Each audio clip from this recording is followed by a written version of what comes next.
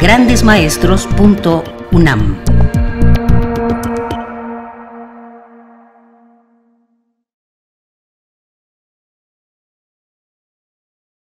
Bueno, pues ahora, como comentaba Mirna, es la última sesión. Este, la vez pasada, si se acuerdan, terminé hasta fines del siglo XIX, más o menos.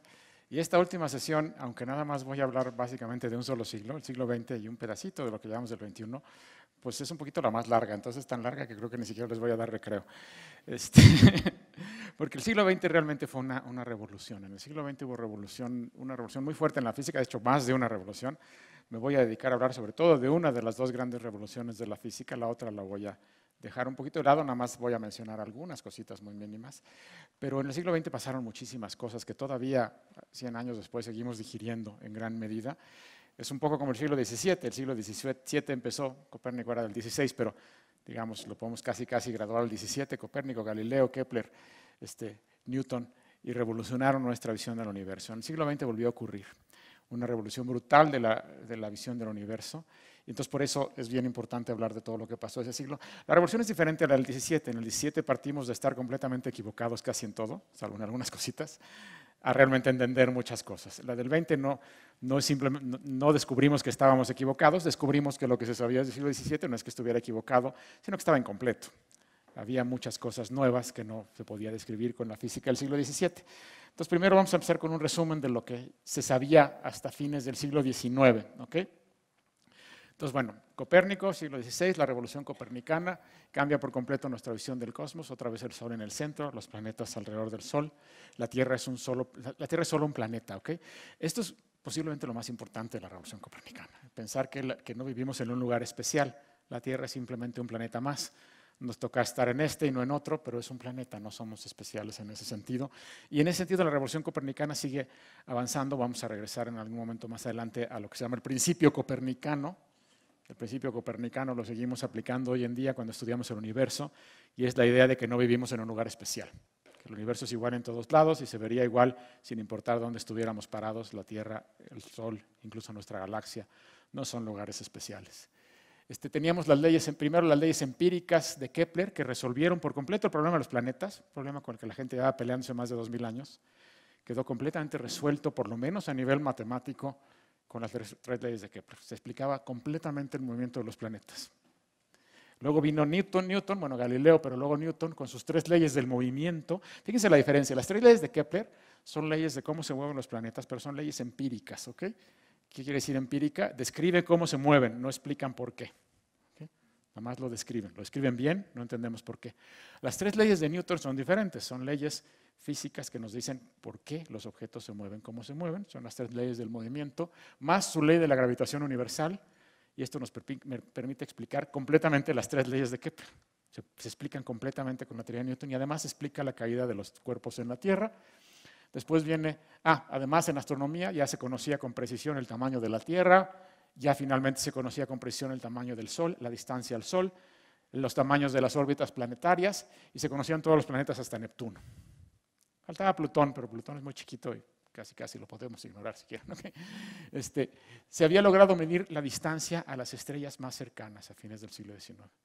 A unas cuantas, algunas decenas de estrellas, pero ya se conocía la distancia a las estrellas más cercanas y se sabía la escala, por lo menos de la distancia a las estrellas. Alfa Centauri, la estrella más cercana, está a cuatro años luz de distancia. A la luz le toma cuatro años llegar desde Alfa Centauri hasta acá.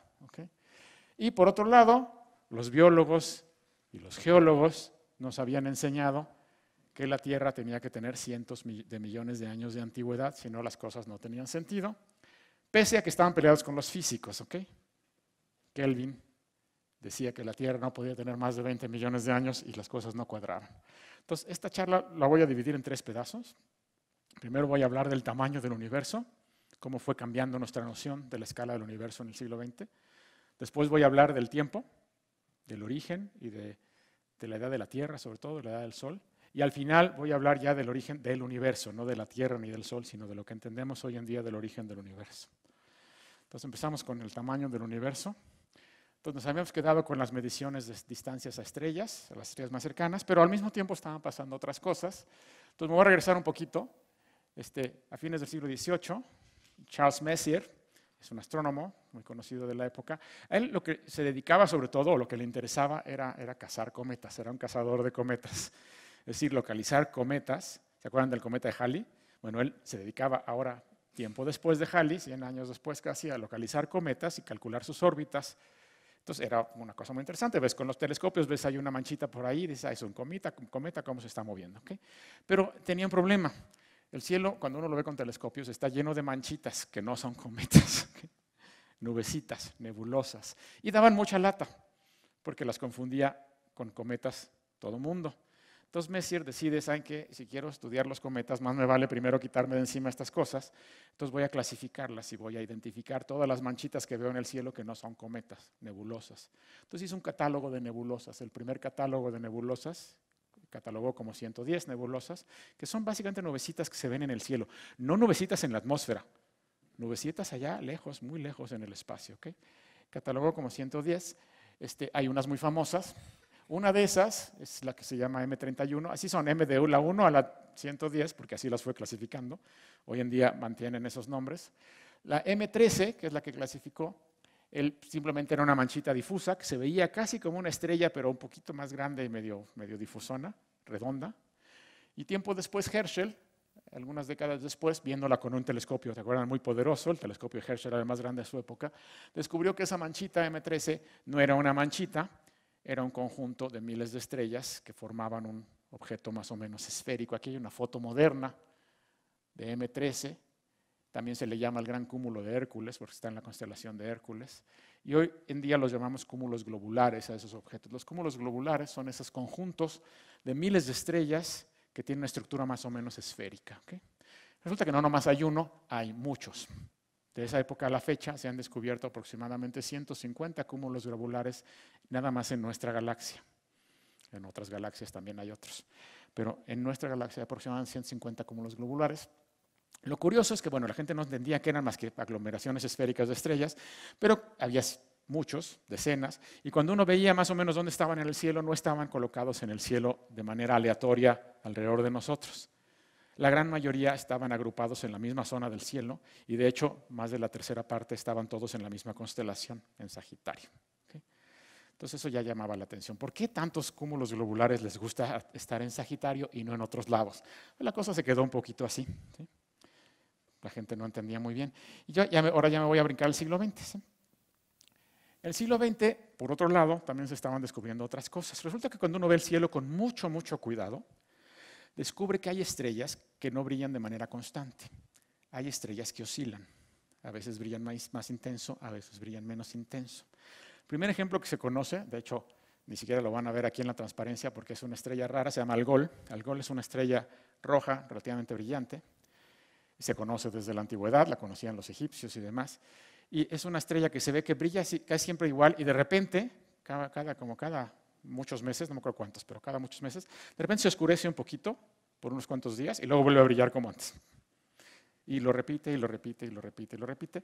Es una, es una cosa tan rara que de hecho el nombre de Algol es un nombre en árabe, que en realidad es Al-Gol, como en árabe es El Gol, y Gol quiere decir fantasma o espíritu o demonio. ¿okay? Como la palabra en inglés ghoul, si han oído la palabra en inglés ghoul, es la misma palabra. ¿sí? Entonces, Algol es el demonio. ¿Por qué le decían el demonio? Porque hacía esta cosa rara. De repente brillaba menos, no entendía por qué y luego volvió a brillar más. Es la primera variable que se conoce, pero estrictamente no es una estrella variable. Hoy entendemos que lo que pasa es que son dos estrellas, una muy brillante y una menos brillante, y cuando la menos brillante pasa enfrente, pues tapa a la más brillante y parece que baja el brillo. Eso lo entendemos hoy, no lo entendían en esa época. Entonces no, la puse ahí porque no es estrictamente las estrellas que me interesan, pero es una estrella en el sentido variable. La primera variable de verdad que se descubrió es una estrella que se llama Omicron Ceti, tiene un nombre raro. ¿Cómo se llaman las estrellas? ¿Cómo llaman las estrellas a los astrónomos? Tienen dos nomenclaturas. Cuando son suficientemente grandes y bonitas e interesantes, tienen un nombre propio. Algol, Aldebarán, Rigel, etc. Pero cuando no, el nombre que les ponen es en qué constelación está, la constelación de, de, Seti, de la ballena, y una letra griega que corresponde a cuál es el, en qué tan brillante es. La más brillante de esa constelación es Alfa. Entonces, ¿se acuerdan de Alfa Centauri? Es la estrella más brillante de la constelación del Centauro y no tiene nombre propio porque como está en el hemisferio sur y no se veía desde Europa, nadie nunca se preocupó por, ponerle nombre. Esta es Omicron Centauri, que quiere decir como es la estrella número 20 en magnitud en esa constelación. Entonces no es particularmente interesante. Pero a esta sí le pusieron un nombre propio. No es muy brillante, pero tiene nombre propio. ¿Por qué tiene nombre propio? Porque es rara, porque también oscila. De repente es muy brillante, magnitud 2 es muy brillante, las estrellas más brillantes del cielo tienen magnitud 1, las que le siguen son 2. Esto es una estrella brillante, no de las más no es Sirio, pero es brillante. Pero es brillante y de repente con un periodo de 11 meses deja de ser brillante hasta que esencialmente desaparece y no la pueden ver. Y luego vuelve a ser brillante y luego y así se la pasa cada 11 meses.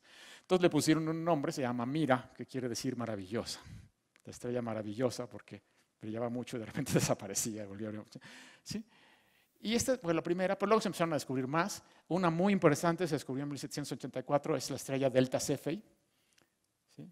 La, es la constelación del cisne y la cuarta estrella más brillante. ¿sí? Este, y esta es variable, pero muy rápido. Esta cambia de brillo en cinco días.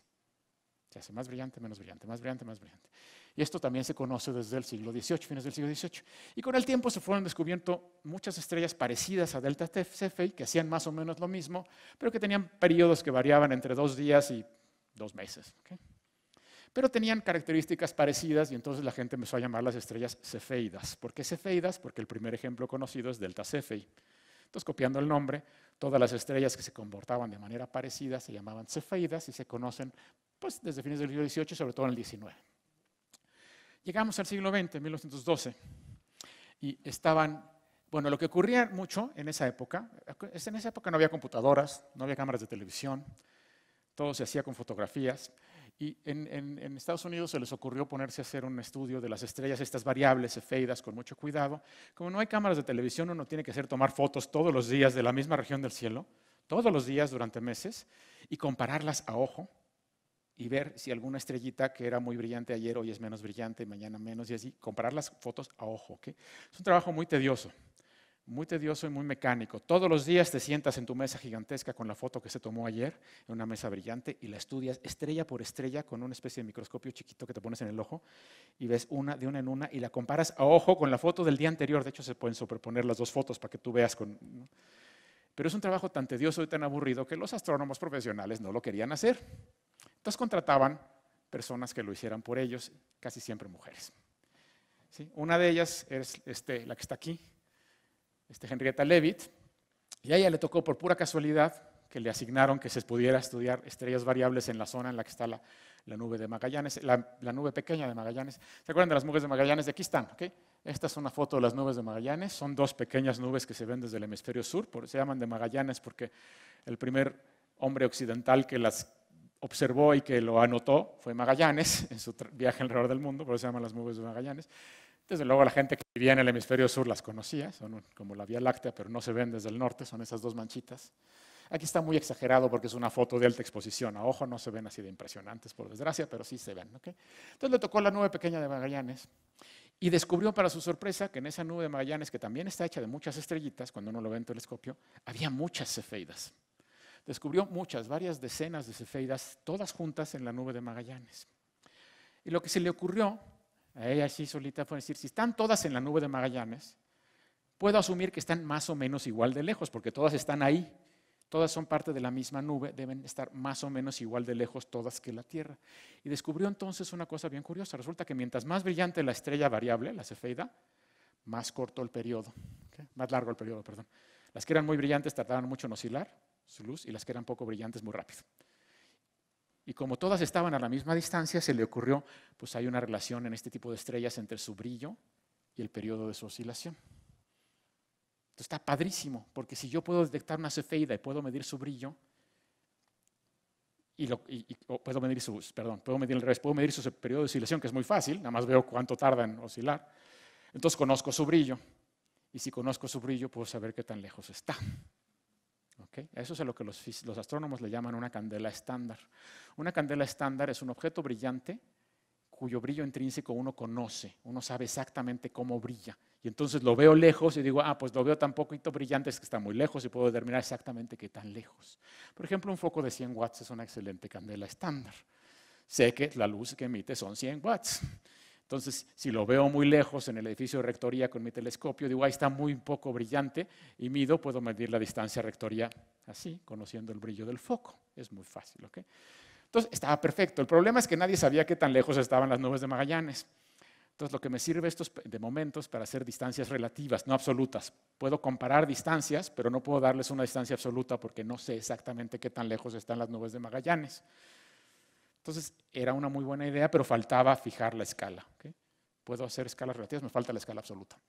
Entonces aparece este otro señor, Shapley, Harlow Shapley, que toma los datos de Henrietta Leavitt y se le ocurre esta idea fantástica y dice, voy a estudiar cefeidas no en las nubes de Magallanes, sino en los cúmulos globulares, por eso los cúmulos globulares. Voy a buscar cefeidas en cúmulos globulares. Y empezó a encontrar cefeidas en muchos cúmulos globulares. Hizo una especie de modelos estadísticos. No conocía la distancia absoluta con mucho cuidado, pero se hizo unos modelos estadísticos bastante complicados en su momento, que se siguen usando, muchísimo más sofisticados hoy en día, ya han pasado 100 años, pero una serie de modelos estadísticos le permitió más o menos fijar la distancia a, algunas cefeidas, sobre todo porque también descubrió, este, creo que aquí no está, ah, a lo mejor está en la siguiente, este, empezó, eh, o sea, asumiendo más o menos estos modelos estadísticos de la distancia, este, empezó a decir, bueno, si puedo ver cefeidas en cúmulos globulares y tengo un modelo estadístico de la distancia y veo cefeidas muy débiles en cúmulos globulares, eh, algunos y más fuertes en otros, puedo saber qué tan lejos están los cúmulos globulares. Entonces hizo un mapa, y este es un mapa de todos los cúmulos globulares que él encontró. Digo, es en una dimensión, en dos dimensiones, en realidad en tres, pero en este mapa la cosa marca amarilla marca donde estamos nosotros, es la posición del Sol y todos los cúmulos globulares están cargados a la derecha, ¿ven? Todos. Y de hecho, si lo ven en tres dimensiones, todos están cargados hacia Sagitario. Todos están hacia Sagitario, cargados hacia la derecha.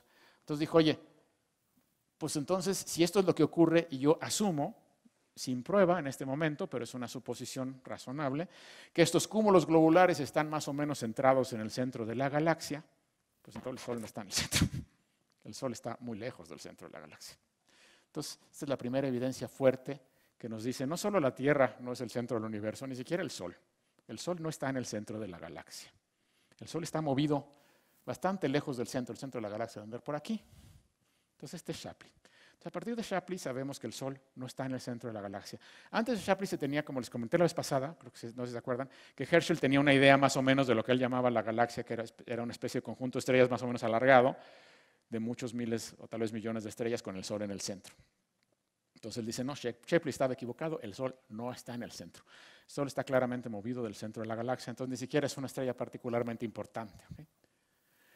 Pero eso todavía era un modelo así medio raro de las distancias. ¿okay? Entonces Shapley mismo quiere fijar la distancia a las, a las, estrellas y entonces descubre que entre todas las cefeidas que tenía encuentra 11 a las que les puede mover, medir el movimiento propio, que es que tanto se mueven en el cielo respecto a las otras estrellas. Se mueven muy poquito, pero sí se podía medir para estas 11 que son las cercanas. Entonces usó estas 11 cercanas y su movimiento propio para determinar la distancia a estas estrellas. Con eso fijó la escala, la distancia a las primeras efeidas. Con eso fijas la escala y puedes medir la distancia absoluta a todos los cúmulos globulares. Asumiendo que el los cúmulos globulares están distribuidos alrededor del centro de la galaxia, Shapley estima que el centro de la galaxia está aproximadamente a 50.000 años luz de la Tierra. Esto para eso ya estamos en 1920, ¿ok? O 20 poquitos. Este, 50.000 años luz. Entonces, el universo es, la, la galaxia es enorme. La luz tarda 50.000 años en llegar del centro de la galaxia a la Tierra. De hecho, se equivocó y es esencialmente la primera vez en la historia en donde nos pasa al revés. Siempre que habíamos medido distancias en el cielo, los astrónomos cuando se equivocaban, se, equivocaban pensando que, las distancias eran más chicas de lo que en realidad eran. Ya se los platiqué varias veces. Aquí se equivocó al revés. Primera vez en la historia que pensó que la distancia era más grande de lo que en realidad es. Los métodos se mejoraron con mucho detalle, hoy ya son muy poderosos y hoy sabemos que la galaxia, el Sol está como a 27.000 años luz del centro, no a 50.000, está como a 27.000 años luz del centro de la galaxia, y la galaxia tiene 100.000 años luz de lado a lado. A la luz le, tarda, le toma 100.000 años cruzar la galaxia de lado a lado. Nosotros no estamos en el centro, estamos movidos del centro.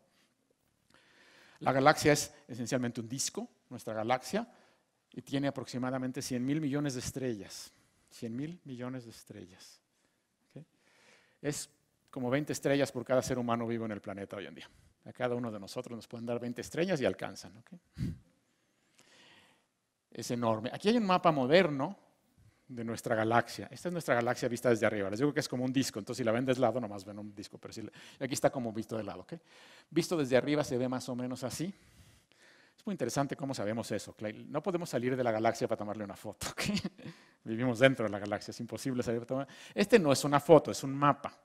Es un mapa hecho midiendo distancias a estrellas por todos lados de la galaxia. De hecho, este mapa está extrapolado, porque el Sol aquí en este mapa no se ve muy claro, las letras, pues está aquí. Por eso aquí ven las líneas que cruzan aquí. Esta es la posición del Sol. Estamos aquí. Y el lado de acá de la galaxia en realidad no lo conocemos, es una extrapolación. Porque ahí no vemos bien, porque el centro de la galaxia nos impide ver qué hay del otro lado, no nos deja ver. Entonces, esta zona de aquí es medio inventada, pero todo lo demás lo tenemos muy bien medido. Es una galaxia espiral, tiene brazos espirales muy bonitos. Tiene en el centro un núcleo muy brillante, muy denso, con muchísimas más estrellas que por aquí afuera, que además ese, núcleo es alargado, es una galaxia espiral con una barra, se llama galaxia espiral barrada. La barra no es muy grande, hay unas con más grandes. Este, tiene una barra en el centro y de aquí salen varios brazos espirales, dos principales, el, el, brazo de Scutum Centauro y el brazo de Perseo, que está aquí, son los dos brazos principales. Algunos brazos secundarios, aquí hay uno chiquito que se llama el brazo de Sagitario, y aquí hay otro que se llama el brazo de, este, no me acuerdo qué dice ahí, pero bueno, no me acuerdo cómo se llama, pero son dos brazos menores. Y el Sol, si te fijan, aquí hay un brazo grande, aquí hay otro brazo grande, aquí está Sagitario, el Sol ni siquiera está en ese. El Sol no está en uno de los, ninguno de los brazos importantes. El Sol está en una ramita por aquí chiquita que se llama el ramal de Orión. Es un brazo muy menor que sale del brazo de Sagitario. Ese es el mapa del sistema solar, de la galaxia. El Sol no solo, está en el, no solo no está en el centro, ni siquiera está en uno de los brazos principales. Está en uno de los brazos menores. Es el mapa moderno. Esto es visto como se vería de lado. La galaxia también es un mapa y aquí estarían las nubes de Magallanes en comparación. ¿okay? Conociendo la distancia de las efeidas y los cúmulos globulares y la escala de las efeidas, uno también puede usarlo para medir la distancia a las nubes de Magallanes, con las que había empezado Leavitt. Y resulta que uno determina que las nubes de Magallanes están como a 160 mil años luz del centro de la galaxia. Y, están hacia afuera como en una dirección que no es el plano, están fuera del plano como a 160 mil años luz. Entonces claramente no están en la galaxia. Las nubes de Magallanes no son parte de nuestra galaxia. Son galaxias chiquitas en sí mismas. Son galaxias pequeñas que son satélites de nuestra galaxia. Entonces eso estamos hablando de 1920, ¿ok? En esa época, la mayoría de los astrónomos, incluido Shapley, pensaba que el universo era nuestra galaxia y ya, no había nada. Afuera de la galaxia no había nada. el universo era un espacio vacío con una galaxia, la galaxia, con mayúscula, la única. La galaxia y las nubes de Magallanes, que eran bichos raros que andaban por ahí. Eso es todo lo que había. De hecho, galaxia viene del nombre Vía Láctea, que es lo que vemos en el cielo, esa mancha lechosa que es la Vía Láctea. De ahí viene galaxia, el nombre galaxia. Galaxia simplemente era la galaxia, no había otra cosa. ¿no? Entonces la cosa empezó a cambiar poquito tiempo después, 1923. Hubble se pone a estudiar otro tipo de objetos. ¿Se acuerdan de Messier y sus manchitas en el cielo? M13 era una manchita medio redonda que resultó ser un cúmulo globular. Pues había otras que no eran redondas, había otras que eran alargadas y otras que parecían espirales. Había en particular una muy importante, M31, que de hecho se puede ver a simple vista, pero es difícil, porque es apenas una manchita, los que tenemos mala vista no vemos nada, pero alguien con muy buena vista la puede alcanzar a ver como una manchita chiquita así, alargadita. Con un telescopio se ve una mancha con espirales. En esa época no se sabía la estructura de nuestra galaxia todavía, entonces lo que, que veían una mancha como espiral y decían, pues debe ser una nube de gas o de polvo con una estructura medio espiral. De hecho se especulaba que si a lo mejor ese tipo de nubes eran el origen del sistema solar o de sistemas como estrellas. De hecho, curiosamente, la primera persona que sugirió eso no fue un físico, fue Kant, un filósofo, el primero que sugirió que las estrellas se podían formar de, espirales de gas y polvo que se iban juntando. Entonces, cuando veían esta manchita M31, decían, pues seguramente esta está formando ahí una estrella. Es una nube que está formando una estrella. Pues Hubble, que era otro astrónomo de la época, este, decidió que no. De hecho, había pasado una cosa curiosa. En M31, en 1885, se vio una nova, lo que metió una confusión brutal porque si es una, si es una espiralita de gas, ¿cómo es que explotó ahí una estrella? ¿no? O sea, ¿qué es eso? Entonces, había muchas discusiones, no entendía qué pasaba. De hecho, hoy en día ni siquiera la llamaríamos una nova, la llamaríamos una supernova, que es otro bicho. Entonces eso metió mucha confusión. Pero en, el 23, eh, Hubble, que está aquí, utilizó el telescopio más grande de la época, que es este, el telescopio Mount Wilson, que tiene como dos metros y medio de diámetro. Para, para escalas modernas es un telescopio chico, pero para la época era el más grande del mundo, este, para observar con cuidado M31. M31 también se llama la nebulosa de Andrómeda porque está en la, constelación de Andrómeda. Andrómeda es una constelación, ahí está la manchita. Entonces, la nebulosa de Andrómeda, M31. ¿Y qué descubrió? Descubrió que en M31 podía distinguirse cefeidas, estrellas cefeidas que oscilaban. Entonces, M31 no es una, no es una nube de gas, está hecha de estrellas, como los cúmulos globulares, ¿se acuerdan? Pero no solo eso, está hecha de estrellas y hay cefeidas. Y si hay cefeidas, son candelas estándar. Si mido su periodo y su luminosidad, puedo saber qué tan lejos están, porque conozco la luminosidad. Entonces, dijo Hubble, perfecto, lo voy a medir y voy a ver qué tan lejos está Andrómeda. Y lo que le dio, 800 mil años luz. ¿Se acuerdan de que nuestra galaxia tenía solo 100 mil? Entonces, ocho veces más lejos que el tamaño completo de nuestra galaxia. Nuestra galaxia está aquí y esto está por acá, ocho veces más lejos. De hecho, había errores, en esa época los métodos eran todavía malones y hoy en día sabemos que se equivocó por un factor de más de dos, no está a 800 mil años luz de distancia, está a 2 millones de años luz de distancia. Todavía bastante más lejos. Pero no importa si eran 2 millones o casi un millón, que es lo que él pensaba, el hecho es que está muy fuera de la galaxia, es una cosa espiral. Si uno ve que está tan fuera y ve el tamaño que uno la ve en el cielo, resulta que es enorme, es más grande que nuestra galaxia. Entonces no quedaba más remedio, es otra galaxia. 1923 nos damos cuenta que nuestra galaxia no es la única. Y las nubes de Magallanes no eran cosas raras. Hay otras galaxias tan grandes como la nuestra o más grandes. De hecho, Andrómeda es más grande que la Vía Láctea. Hoy en día lo sabemos. Es un cacho más grande que la Galaxia. Tiene como cuatro o cinco veces más estrellas y es casi el doble de tamaño que nuestra galaxia Andrómeda. Es la gran galaxia de Andrómeda, que hay una foto más o menos moderna de la gran galaxia de Andrómeda.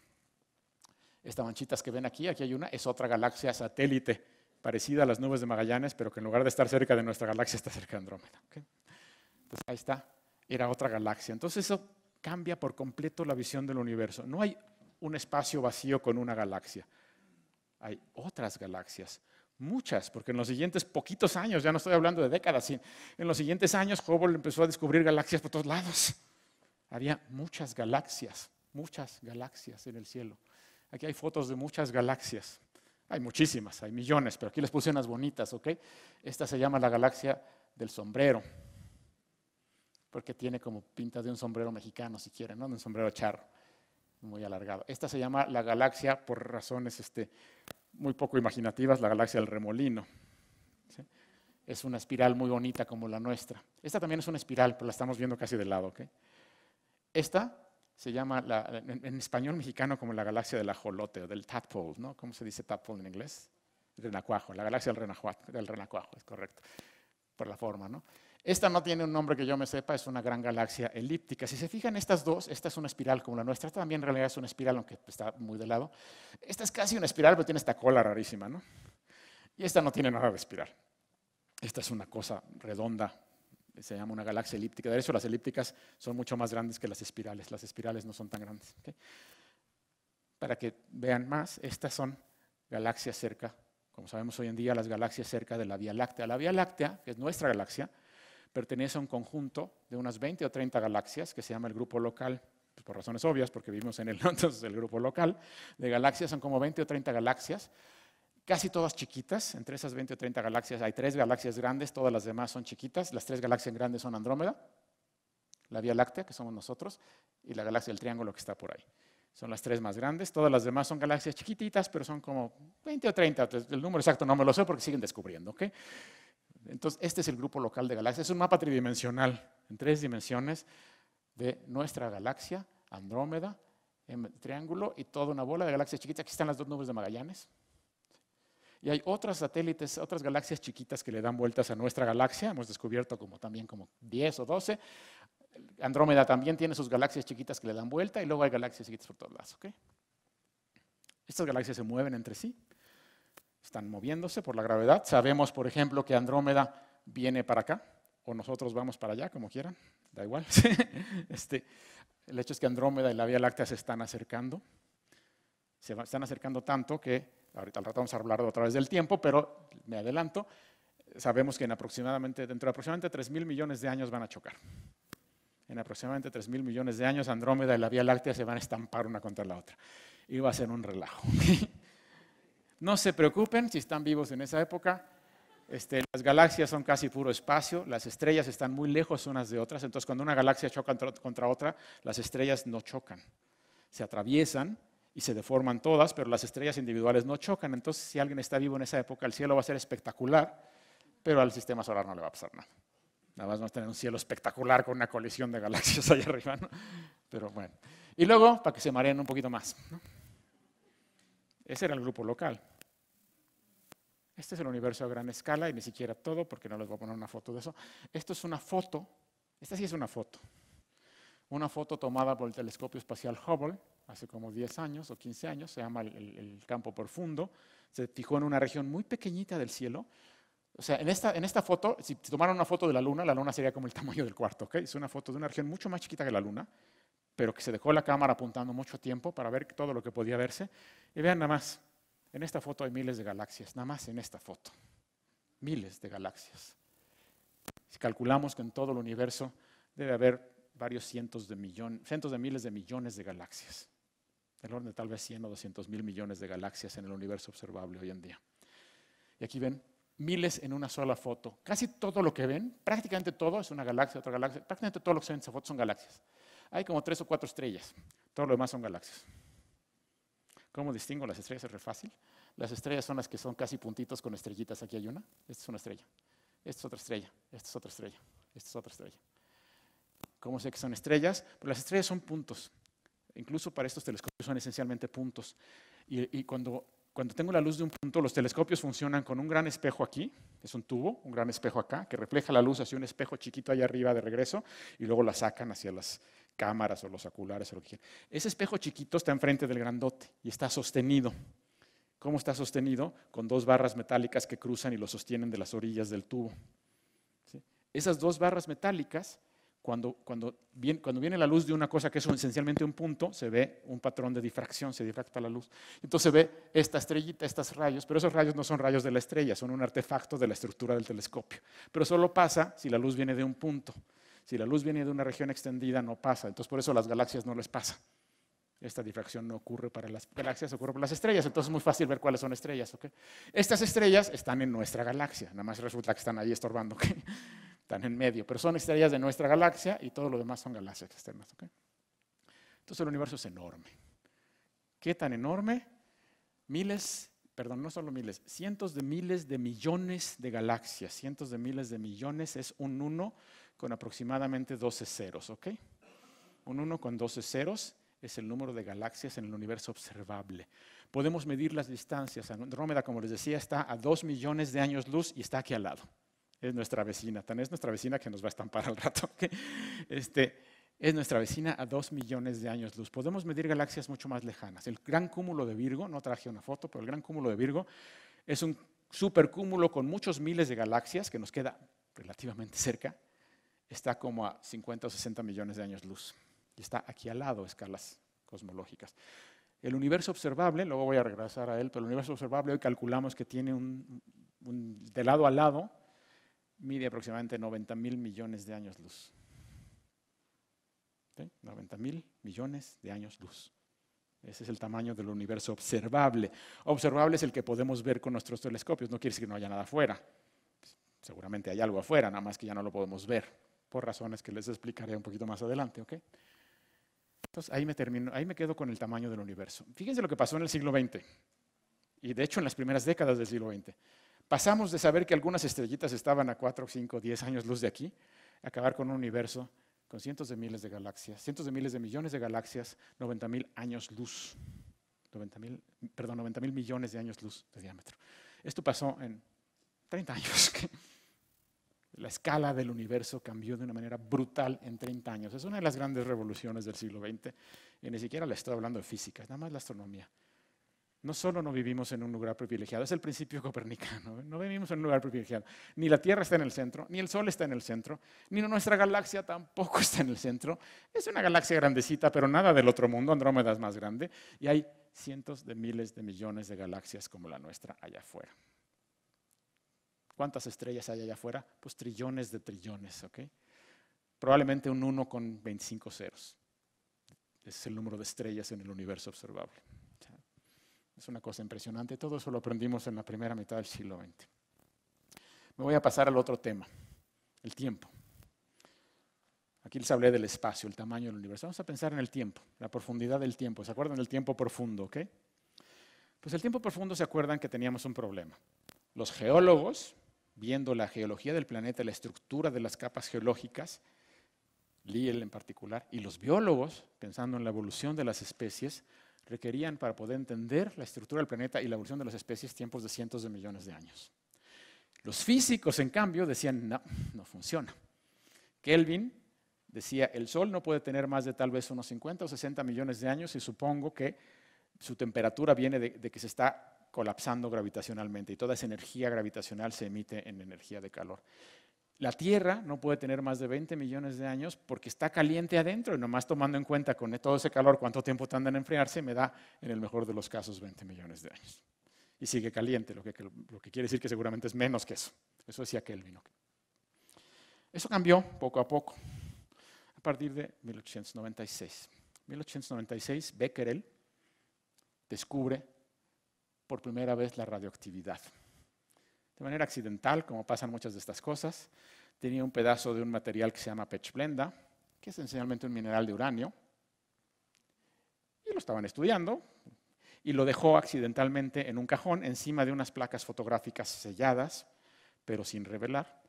Cuando después se le ocurrió revelar las placas, uno ¿por qué se le ocurrió revelar unas placas en las que no había tomado ninguna foto? Siempre uno se les pregunta, se le ocurrió, reveló las placas y estaba clarísima la mancha, Ahí está la mancha de la piedra que había estado encima. Entonces, ¿cómo es que se manchó la película que estaba sellada? Nada más porque le puse una piedra encima.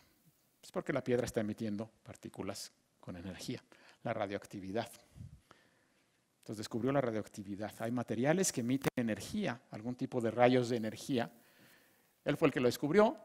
En los siguientes años, un matrimonio, un matrimonio Curie, Pierre y Marie Curie, tomaron el tema colaboraron con él y empezaron a, hacer estudios muy interesantes de radioactividad. Bueno, él de hecho descubrió tres tipos diferentes de radioactividad, que él no les puso nombre, pero Rutherford más adelante, que vamos a ver en la siguiente transparencia, con poca imaginación les llamó radiación alfa, beta y gamma. De hecho, hoy en día sabemos que hay otros tipos de radiación, pero ya se quedó el nombre. Entonces, las radiaciones alfa, beta y gamma son muy típicas y la gente habla de esas hoy en día, pero no son las únicas, son las que descubrieron en esa época.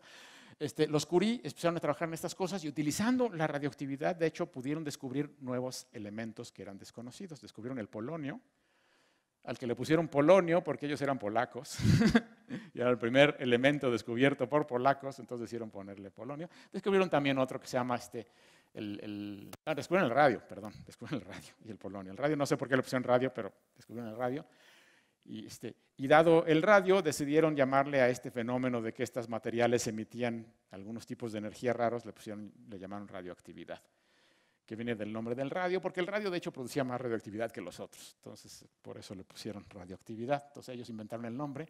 Y en 1903, los tres juntos recibieron el premio Nobel creo que es el segundo año que se dio premio Nobel o algo así, por el descubrimiento de la radioactividad.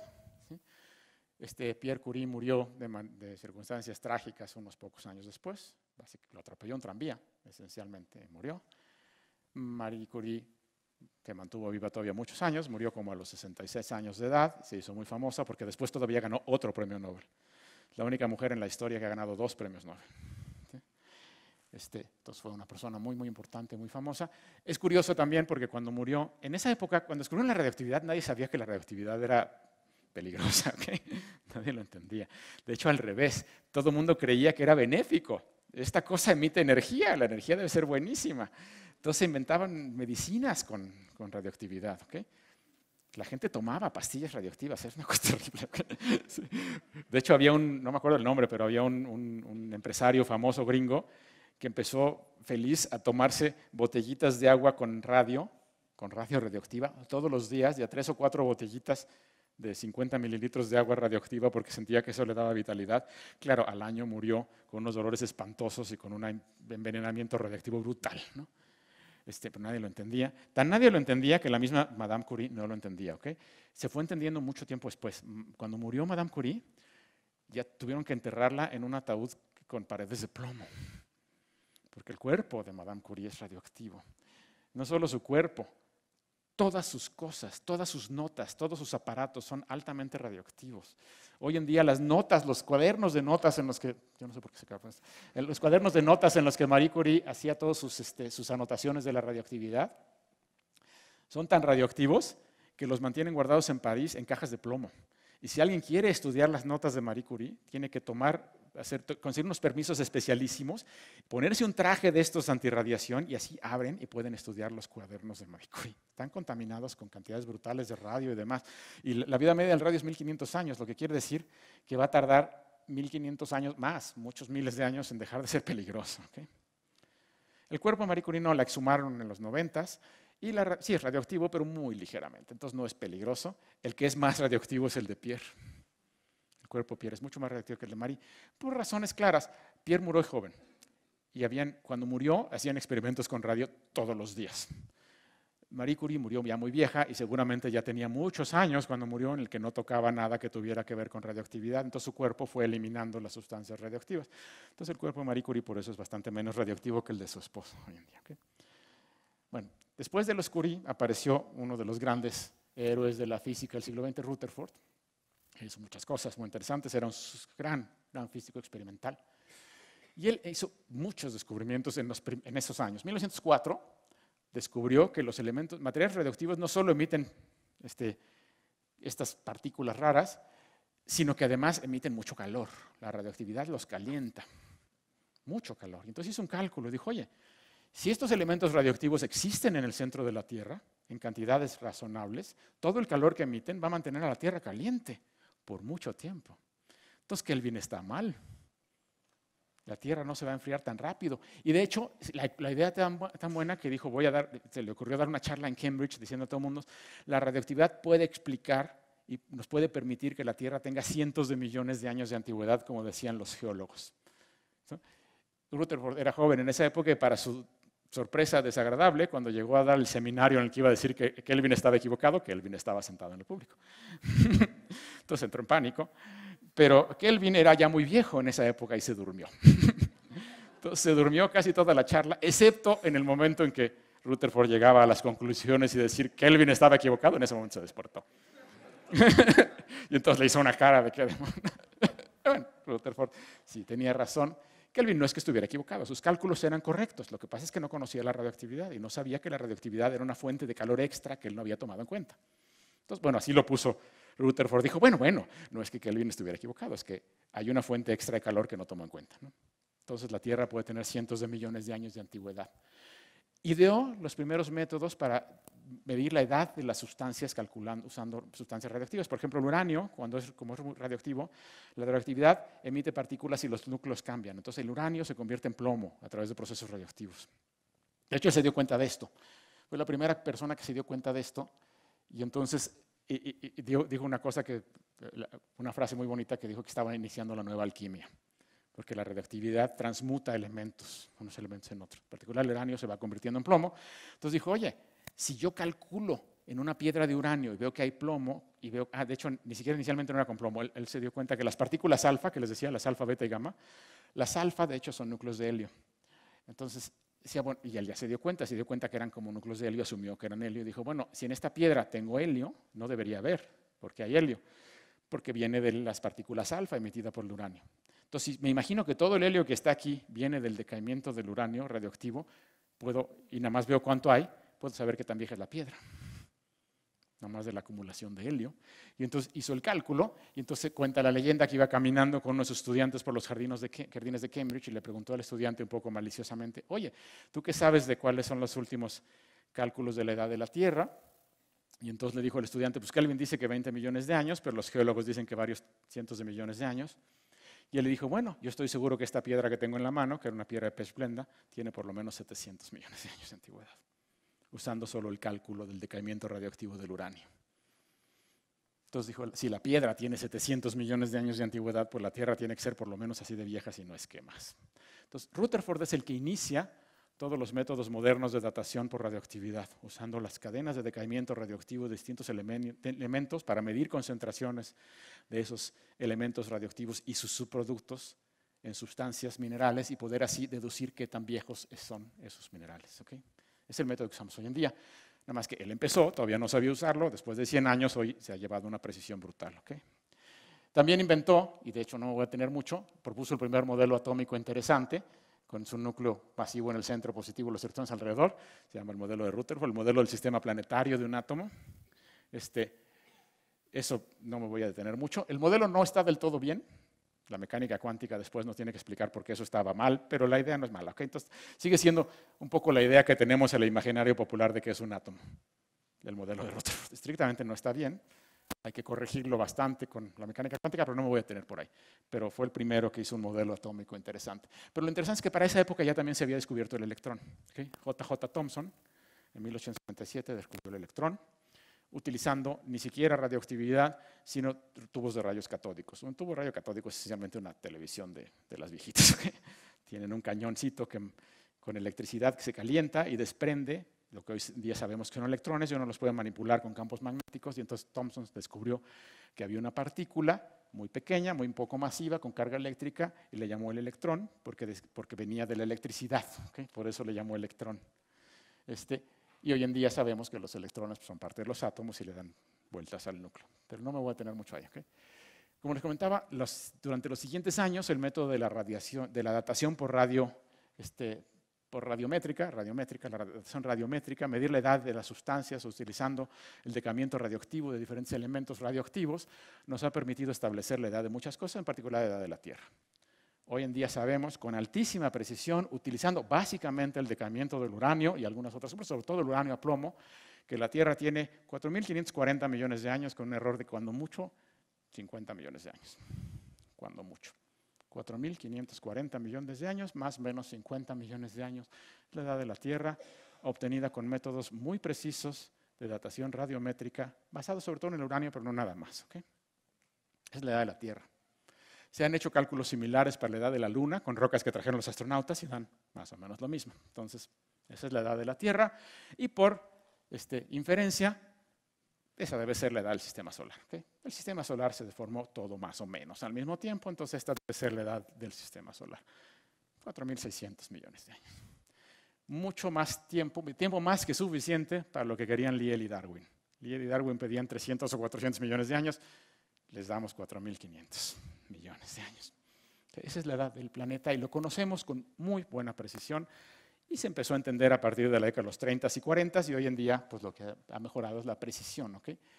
Eh, tenemos evidencia de vida en el planeta Tierra, la evidencia más antigua de seres vivos en el planeta Tierra, esencialmente bacterias, es de hace 3.700 millones de años. Hace 3.700 millones de años en la Tierra ya había bacterias. No tenemos fósiles de las bacterias. Lo que hemos visto son unos conjuntos de piedras que se llaman estromatolitos, que todavía ocurren hoy en día en, lagos muy salados donde nada más hay bacterias, pero todo lo demás se muere. Y las bacterias cuando viven solas y no hay nada que las moleste, este tipo de bacterias forman colonias que van formando estructuras y cuando se van muriendo, parte de sus, de sus membranas tienen calcita y se van acumulando, entonces forman como unos pilares que van saliendo del agua poco a poco. Eso pasa hoy en día en lagos muy, muy salados donde todo lo demás se muere porque las bacterias están tranquilas, nadie las molesta. En la tierra primitiva no más había bacterias, no había nada más, entonces nadie las molestaba, entonces esto seguramente pasaba por todos lados y este tipo de estructuras se han descubierto fosilizadas en varios lugares del planeta y cuando las datamos encontramos que tienen edades las más antiguas de por ahí. Entonces, como mil millones de años después de que se nació el planeta, ya había vida. Bacterias, pero ya había vida. Otro tipo de elementos se usan para diferentes cosas, porque la vida media de un elemento radioactivo, la vida media es cuánto tiempo toma en que la mitad del elemento se desintegre. Eso se llama vida media. Para el uranio radioactivo, la vida media es de 700 millones de años. Entonces, por eso podemos usarlo para calcular la edad de la Tierra. O sea, después de 700 millones de años ya perdimos la mitad, después de 1.400 millones de años ya nos queda solo la cuarta parte, y así. Entonces, todavía nos alcanza para estas edades, alcanza, queda un poco de uranio, suficiente como para medirlo. Hay elementos que decaen mucho más rápido, por ejemplo, como les comentaba, el radio tiene una vida media de 1.300 millones de años, el radio radioactivo. Entonces, por eso este, los materiales de, Madame Curie van a ser peligrosos por varios miles de años. Hay un elemento muy interesante, el carbono 14 tiene una vida media de 5.700 años, pero lo interesante no solo es que la vida media es relativamente corta, sino además es carbono. Y los seres vivos estamos hechos prácticamente de carbono es el elemento más importante en los seres vivos. Entonces, cuando los seres vivos morimos, tenemos mucho carbono. Los fósiles de seres vivos, cuando no son muy viejos, tienen, una gran cantidad de carbono. Una buena parte de ese carbono es carbono 14, no la, mayoría, es una fracción pequeña, pero hay carbono 14 que es radioactivo, que se genera en la atmósfera superior por rayos cósmicos que bombardean y cambian el carbono que hay ahí en, este, en esta parte radioactiva, se está generando todo el tiempo. Cuando respiramos nosotros o las plantas, parte de ese carbono 14 en el CO2 que hay en el ambiente entra a nuestros cuerpos y se deposita en los huesos y demás, empieza a decaer. Entonces uno puede, pero, además como estamos respirando, lo estamos, está entrando todo el tiempo. Entonces la concentración de carbono 14 mientras estamos vivos es constante, porque está todo el tiempo entrando desde la atmósfera. Cuando nos morimos, deja de entrar. Entonces a partir de ese momento fijamos y decimos, ok, aquí dejó entrar, se murió el bicho, entonces el carbono 14 ya no más baja. Ya no, ya y entonces podemos calcular cuánto queda y podemos calcular la edad de seres vivos, bueno, ya muertos, pero restos orgánicos, con de, algunos miles de años. Después de 50.000 años ya no nos sirve, porque ya no queda casi nada. Entonces podemos datar cosas hasta antigüedades del orden de 50.000 años, pero con alta precisión, precisión de solo algunas décadas. Eso es lo que se usa para datar tanto este, plantas y animales que murieron hace algunos miles de años, como artefactos tecnológicos hechos, de, por ejemplo, de madera o de cosas orgánicas. Entonces podemos datar madera o cosas en, artefactos tecnológicos a cuando se cortó el árbol del que hicieron ese mueble. ¿okay? Entonces pues, lo usamos para, para datar también cosas, también papel y demás, entonces artefactos humanos. ¿ok? Bueno, y aquí nada más les puse la escala geológica, ¿ok? Pero bueno, esa me la voy a brincar porque si no me voy a acabar. Sí, entonces esa era la Tierra. La edad de la Tierra, 4.540 millones de años.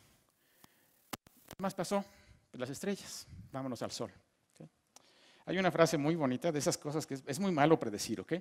Por ahí dicen que predecir es muy difícil, sobre todo si se trata del futuro. Este, esto es más difícil.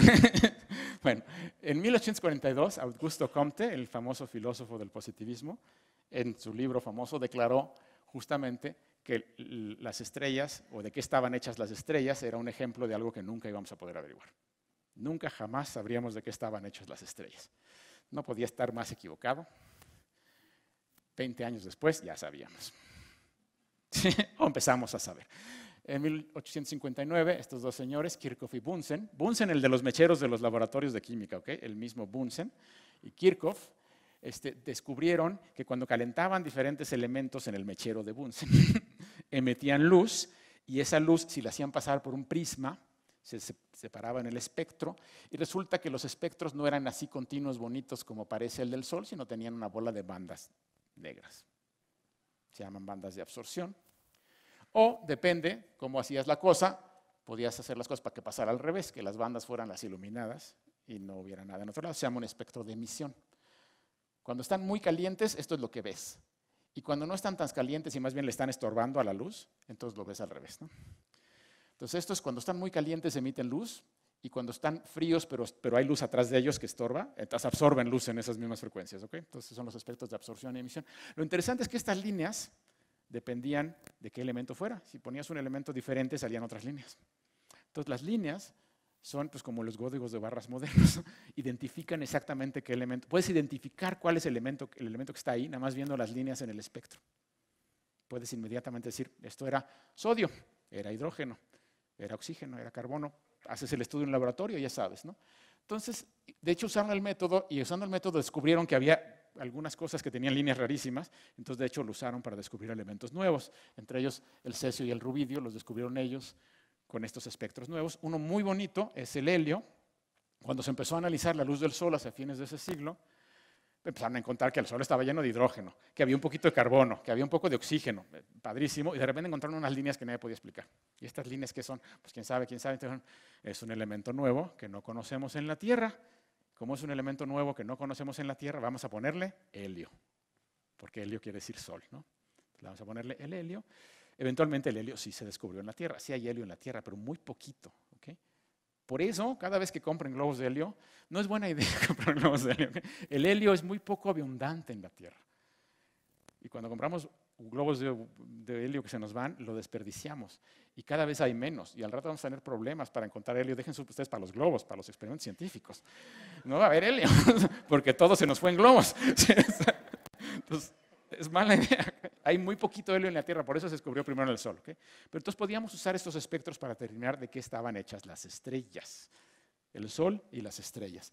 Para fines, este, bueno, en esa época ya para 1930, ya los estudios eran tan buenos que se había determinado que el Sol es aproximadamente 81% hidrógeno, 18% helio, y si no les da la suma, para llegar a 100% es que sí, tiene como un 1% de otras cosas, carbón, oxígeno, algunas otras cosas, pero es básicamente cuatro quintas partes hidrógeno, una quinta parte helio y trazas de otras cosas. Eso es el Sol, casi puro hidrógeno. Cosa muy rara, porque el hidrógeno, aunque sí hay en la Tierra, también es muy poco, y el helio menos. O sea, helio casi no hay en el planeta Tierra, hidrógeno hay, pero poco. Entonces, ¿por qué el Sol es casi puro hidrógeno? y un poco, y helio. Era una cosa rara, ¿no? Pero bueno, básicamente lo que ocurre y sabemos hoy en día es que el hidrógeno es el elemento más abundante del universo, de hecho es el elemento más simple. En la Tierra no hay, porque cuando se formó la Tierra estaba caliente, el hidrógeno se escapó. La Tierra no tiene suficiente gravedad para, para mantener el hidrógeno, el hidrógeno es volátil y se escapa. Del Sol no se escapa, porque el Sol es tan grandote, que su gravedad es muy intensa y entonces no se puede escapar del Sol. Pero de la Tierra sí, entonces no nos quedó casi nada. Los planetas gigantes, Júpiter, Saturno, Urano y Neptuno, son casi puro hidrógeno. La mayor parte están hechos casi de hidrógeno, por lo mismo. Entonces ya sabíamos de qué estaba hecho el Sol, ¿ok? 1930. Y luego pasó otra cosa. Y, ahí me voy a brincar muchas cosas, pero no da tiempo de todo. Pero en los experimentos de Rutherford, como les comentaba, descubrieron que los materiales se podían transmutar, la nueva alquimia.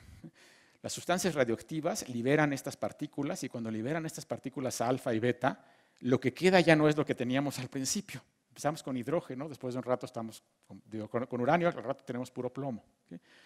Cuando pierden estas partículas, estas partículas salen del núcleo atómico y cuando salen de ahí, el núcleo cambia, ya no es el de antes, es un núcleo distinto, pero ya perdió cosas, entonces vuelve el núcleo de otro elemento. Entonces, los elementos, se pueden formar los elementos a partir de otros por radioactividad.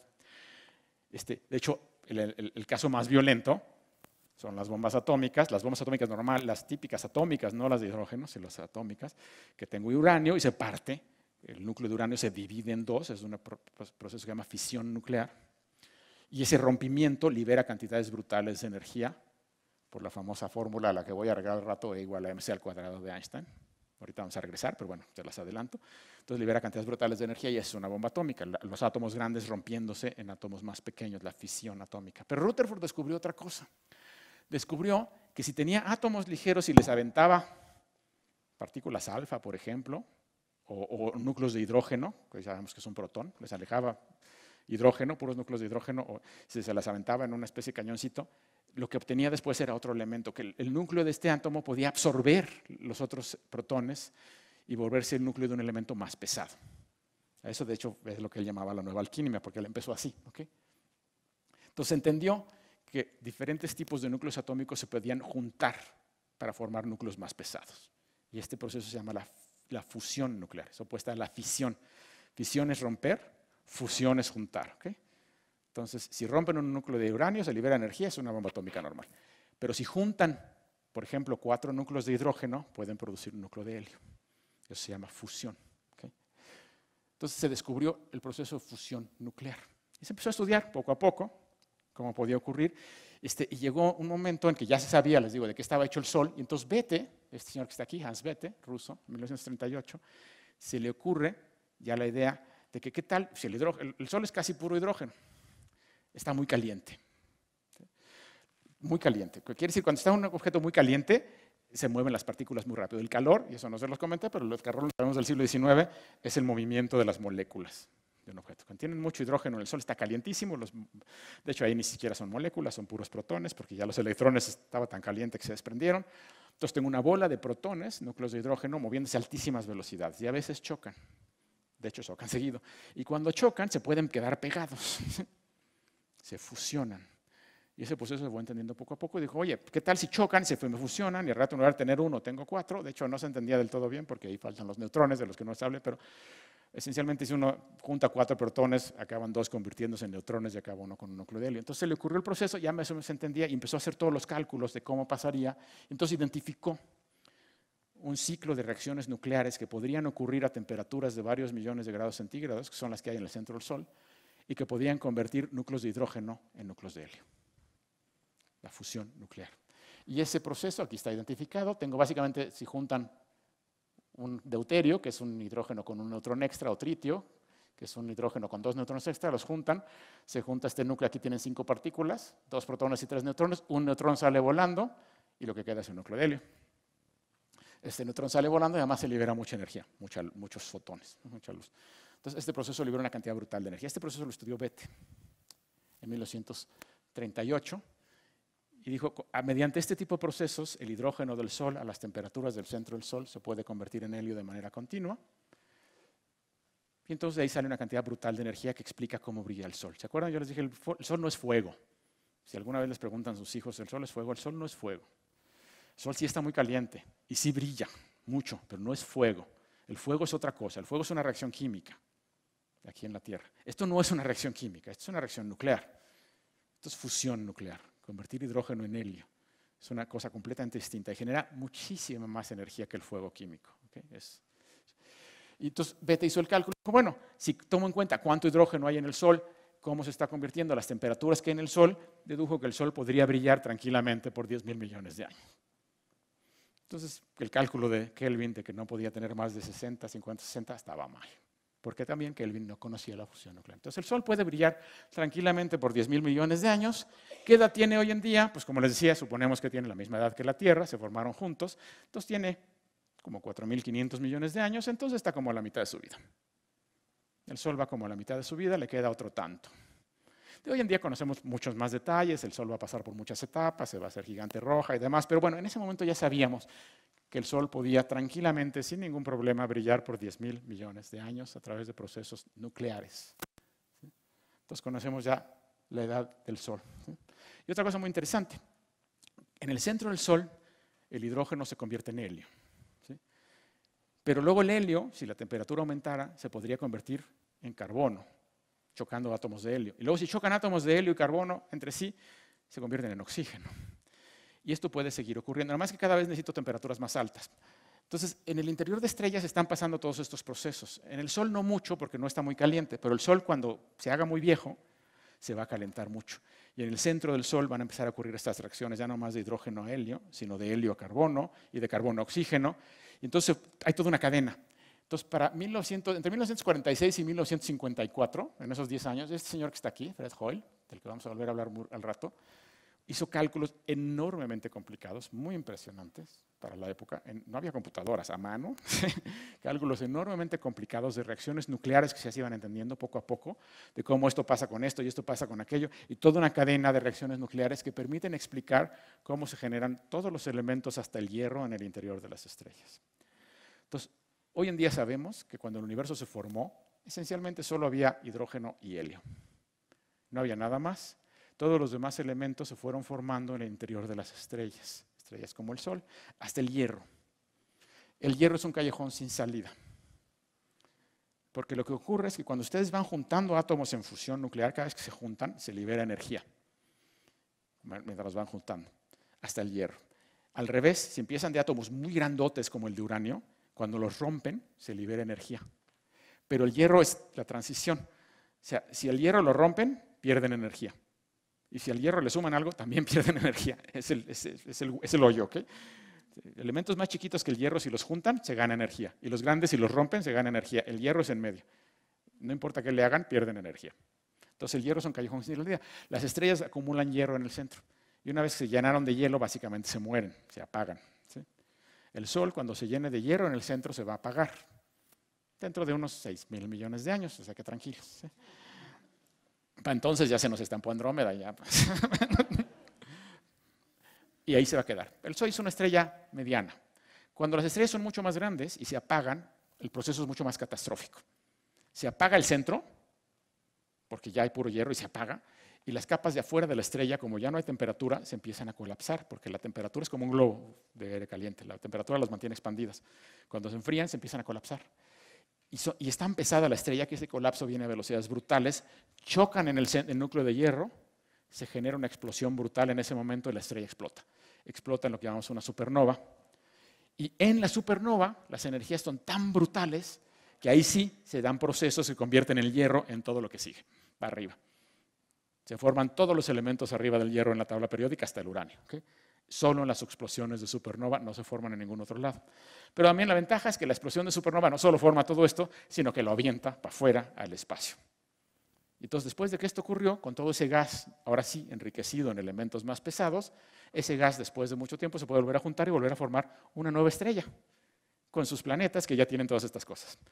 Y aquí, como estamos hechos claramente de carbono, oxígeno, hidrógeno, hierro y otras cosas, este, podemos deducir que nuestro planeta, nuestro Sol, nuestro sistema solar es una estrella de segunda generación. Está formada de los restos de estrellas anteriores que explotaron en supernovas y esparcieron todo esto por el espacio. Y de ahí se forma el Sol. Nuestro Sol es una estrella de segunda generación. Entonces, bueno, esta fusión nuclear y la historia de, y de, y de Joel nos enseña no solo la antigüedad de las estrellas, sino de dónde vienen los elementos. Todos los elementos más allá del helio se forman en el interior de las estrellas o en la muerte violenta de una estrella supernova. Ahí se forman todos. Entonces ya sabemos el origen de los elementos. También esto es siglo XX. Vean que todo lo que pasó en el siglo XX. ¿okay? Ya hemos hablado de 1940, 50. Digo, para entonces ya había bombas atómicas, porque todo este conocimiento de física nuclear pues, se usó desgraciadamente para armas nucleares. Y las bombas atómicas más brutales que tenemos hoy en día no son las que rompen uranio, son las que fusionan hidrógeno, por eso son las bombas de hidrógeno. Son mucho más potentes que las bombas atómicas que cayeron en Hiroshima y Nagasaki. Las bombas de hidrógeno son tranquilamente 10 o 20 veces más potentes que las de uranio. Bueno, entonces, con esto termino con la segunda parte este, de la charla, que era el tiempo. Entonces, y le hablé otras cosas, origen de los elementos, pero el tiempo también, ya entendemos la edad de la Tierra, entendemos la edad del Sol, el Sol tiene 5 mil millones de años de vida, pero puede brillar otros tantos. Pero además el Sol es una estrella de segunda generación. Lo que quiere decir que antes de que formara el Sol hace 5 mil millones de años, ya habían habido otras estrellas que duraron toda su vida, explotaron y eventualmente dieron lugar al sistema solar. Entonces, el, universo debe ser considerablemente más viejo que el Sol para que diera tiempo de que estrellas nacieran, crecieran, murieran, explotaran y luego se formara el Sol. Entonces, la escala de tiempo debe ser por lo menos del doble de la edad de la Tierra, si no es que más, para que dé tiempo de todos estos procesos de muerte de estrellas anteriores. Entonces ya tenemos una idea de la escala de tiempo. La galaxia debe tener por lo menos 10 mil millones de años de antigüedad, si no es que más. Entonces vámonos a la siguiente.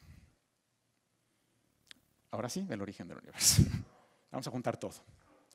Y vamos a pensar en todo el universo y no nada más en la edad de la Tierra o nada más en las estrellas o las galaxias. ¿De dónde viene el universo?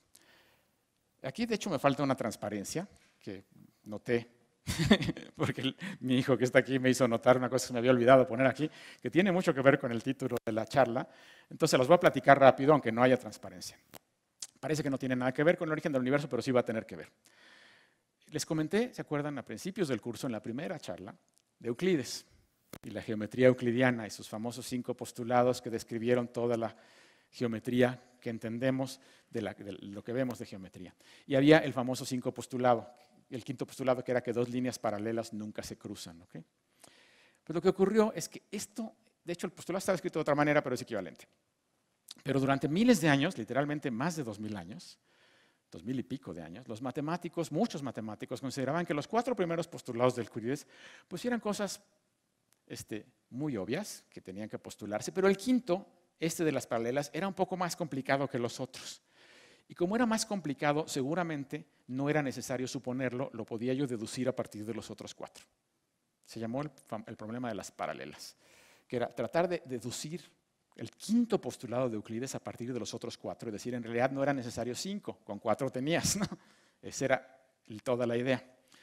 Dos mil y pico de años Muchos matemáticos trataron de hacer esto, nunca lo lograron. Siglo XIX aparecen varios matemáticos importantes, entre ellos uno que se llama Gauss y otro que se llamaba Lobachevsky, un ruso. Lobachevsky era matemático y su papá también era matemático. Supongo que también era Lobachevsky, me imagino, pero no es el famoso, famoso es el hijo. Pero cuenta la leyenda, también de estas leyendas es difícil saber si son ciertas, pero cuenta la leyenda que cuando su, hijo, cuando Lobachevsky hijo estaba estudiando matemáticas, Lobachevsky padre le dijo, hijo mío, qué bueno que estás estudiando matemáticas, nada más te voy a dar un consejo. Nunca te metas en el problema de las paralelas, porque se te va a ir la vida en él y no lo vas a poder resolver. ¿Qué hizo Lobachevsky, hijo? No le hizo caso al papá y decidió dedicarse a estudiar el problema de las paralelas. pero lo resolvió. no más que lo resolvió al revés. Este, descubrió no solo que sí era necesario, sino que si lo negabas pasaban cosas raras. Él lo que hizo fue justamente un método muy bonito en matemáticas que viene desde la época de Pitágoras, que se llama reducción al absurdo, que es suponer que algo, quieres demostrar que esto es cierto, ¿ok? Y no sabes cómo. Entonces, supón que no es cierto y ve a qué consecuencias te lleva eso. Si te lleva a consecuencias ridículas, entonces es que sí era cierto. Si te llega a una contradicción, es que sí era cierto. Entonces se llama el método de reducción al absurdo. Entonces decidió aplicarlo. Decidió suponer, vamos a suponer que si tengo dos líneas paralelas, se pueden cruzar. Y eso me debe llevar a alguna contradicción. Y no lo llevó a ninguna contradicción. Descubrió lo que se conoce como la geometría neoclidiana, la geometría de los espacios curvos, la geometría de los espacios que no son planos.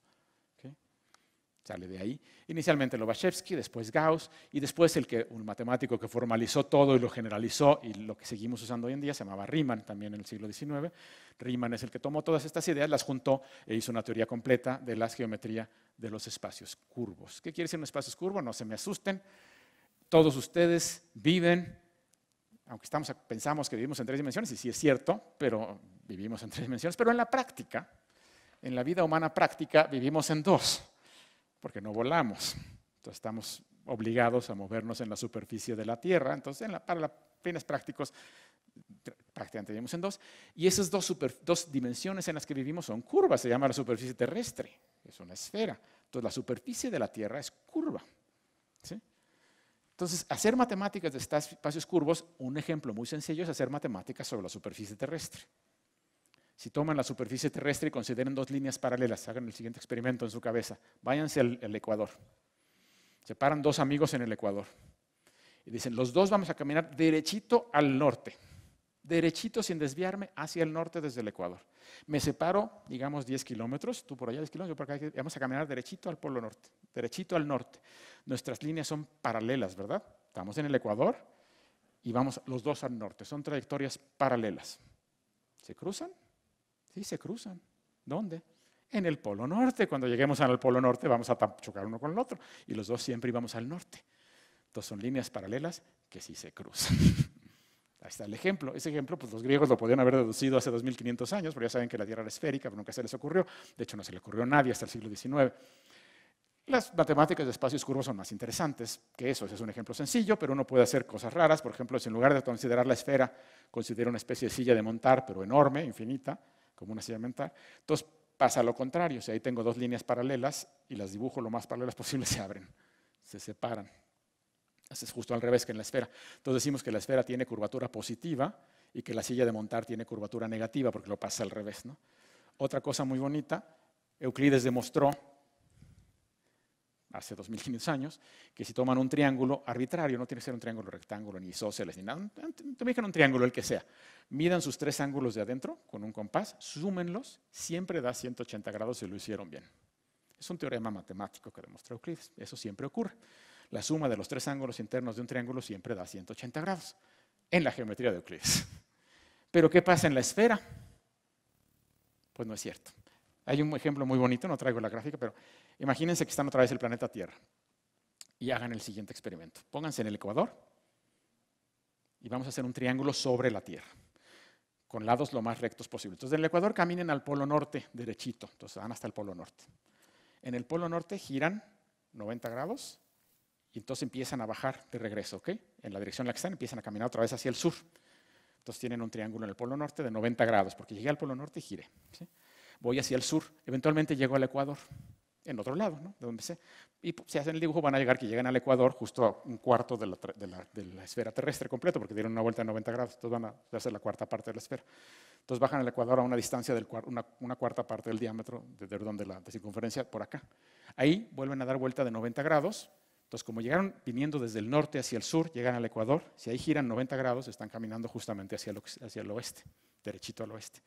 Caminan derechito al oeste sobre el Ecuador y regresan al punto de partida. Eventualmente, es un triángulo. Del Ecuador al Polo Norte, doy 90 grados, de regreso al Ecuador y regreso. Es un triángulo, ¿ok? Los tres ángulos son rectos. ¿Sí lo ven? Este oeste, este del oeste hacia el oeste y luego hacia el norte es un ángulo recto. En el norte les dije que, jugaran, eran 90 grados, es un ángulo recto. Y cuando llegaron al Ecuador, otra vez, iban hacia el sur, ahora hacia el oeste, es un ángulo recto. Es un triángulo, con tres, es un triángulo que tiene tres ángulos rectos. La suma da 170 grados, no 180 como decía Euclides.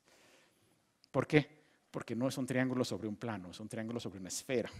Entonces, estas son las matemáticas de espacios curvos.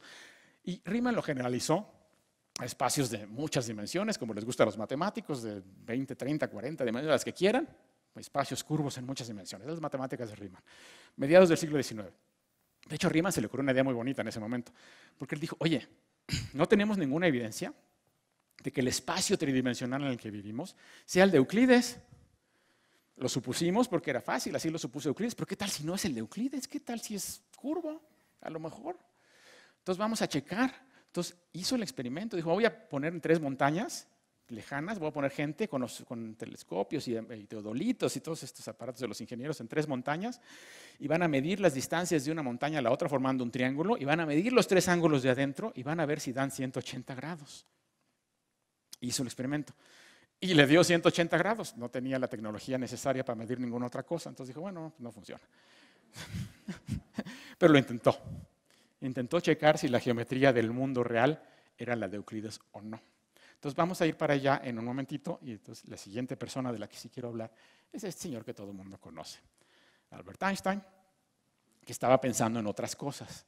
Mientras todo esto pasaba con la astronomía, Albert Einstein estaba pensando en la electricidad y el magnetismo, el electromagnetismo.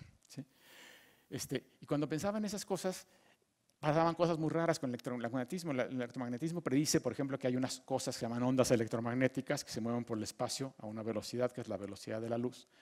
Pero esa velocidad de la luz que salía ahí salía sin importar quién la midiera, siempre estaba la misma. Entonces Einstein estaba preocupado porque Einstein creía que Galileo tenía razón. ¿Se acuerdan de Galileo?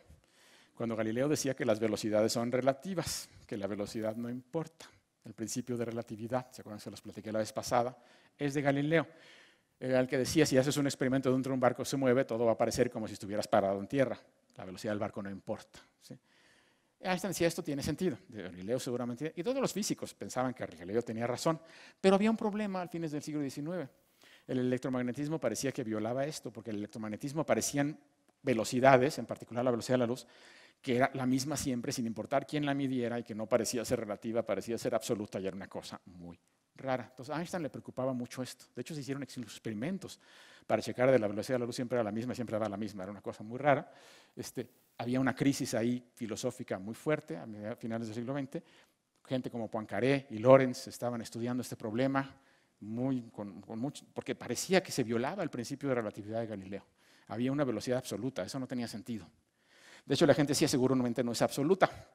Seguramente lo que pasa es que sí obedece el principio de Galileo y depende de quién la mida, sale diferente, pero Einstein decía es que si haces eso, unas ecuaciones muy bonitas, de las más bonitas de la física, que son las ecuaciones del electromagnetismo que descubrió Maxwell en el siglo XIX, son muy bonitas y muy elegantes. Se supone que la velocidad de la luz es la misma para todo mundo. Si me dices que cambia, las ecuaciones se ponen mucho más feas, horribles, de hecho.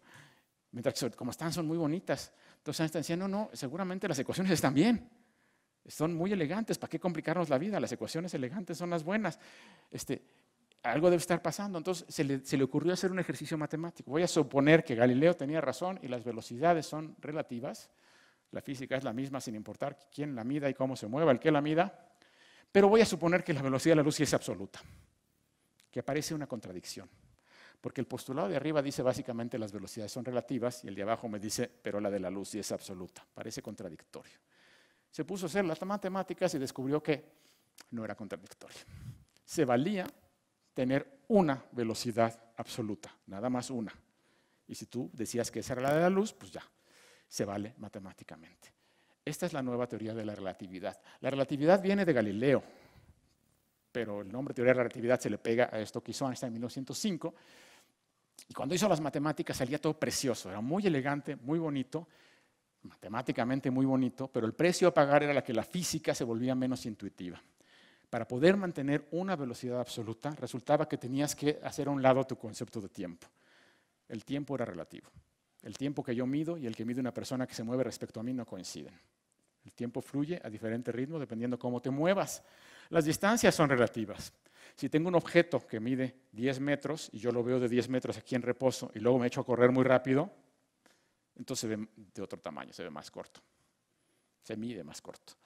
Este, la simultaneidad es relativa. Si yo digo estas dos cosas ocurrieron exactamente al mismo instante de tiempo, aquí y en la Luna, alguien que pasa por aquí moviéndose muy rápido me dice, no es cierto, una ocurrió primero que la otra. Y alguien que se mueve en la dirección opuesta las ve al revés. ¿Quién tiene razón? Todos tienen razón. La simultaneidad es relativa. Nada puede viajar más rápido que la luz. Es una consecuencia de su teoría. Si algo pudiera viajar más rápido que la luz, se destruye toda la teoría y se destruye la causalidad. Si alguien pudiera viajar más rápido que la luz, uno puede demostrar con estos dos postulados muy bobos que si algo puede viajar más rápido que la luz, entonces es posible viajar en el tiempo al pasado. Cosa que no tiene ningún sentido físico, entonces no se puede. Y otra consecuencia interesante es masa y energía son equivalentes, la famosísima ecuación E igual a mc al cuadrado sale de ahí. Todo sale de aquí, es, una cosa impresionante. ¿okay? Lo puede uno deducir matemáticamente, no lo voy a hacer aquí, pero estas cosas se deducen en dos clases de dos horas en la licenciatura en física en sexto semestre. No es difícil. Einstein lo hizo en 1905. 1905 es un año de los años que se consideran los años milagrosos en la física. ¿ok? Hay básicamente dos en la historia de la física del Renacimiento para acá. 1666 es el año milagroso de Newton. 1666 es cuando les comenté que había peste y se fue a vivir a su casa de campo. Era muy joven, Newton tenía 26 años. Y descubrió las leyes de la óptica, las leyes de la dinámica, la ley de la gravitación universal, dedujo las trayectorias de los planetas. Fundó la física moderna, toda en ese año, a los 25 años, 26 años. 1905 es el otro año milagroso.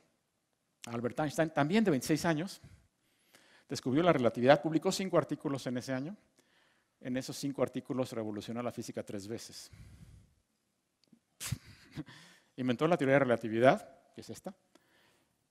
Puso los fundamentos de la mecánica cuántica en otro de sus artículos, una cosa que le dio luego el premio Nobel, el efecto fotoeléctrico, y demostró que los átomos existen. En 1905 los físicos no creían en los átomos, ¿ok? Eso es interesante.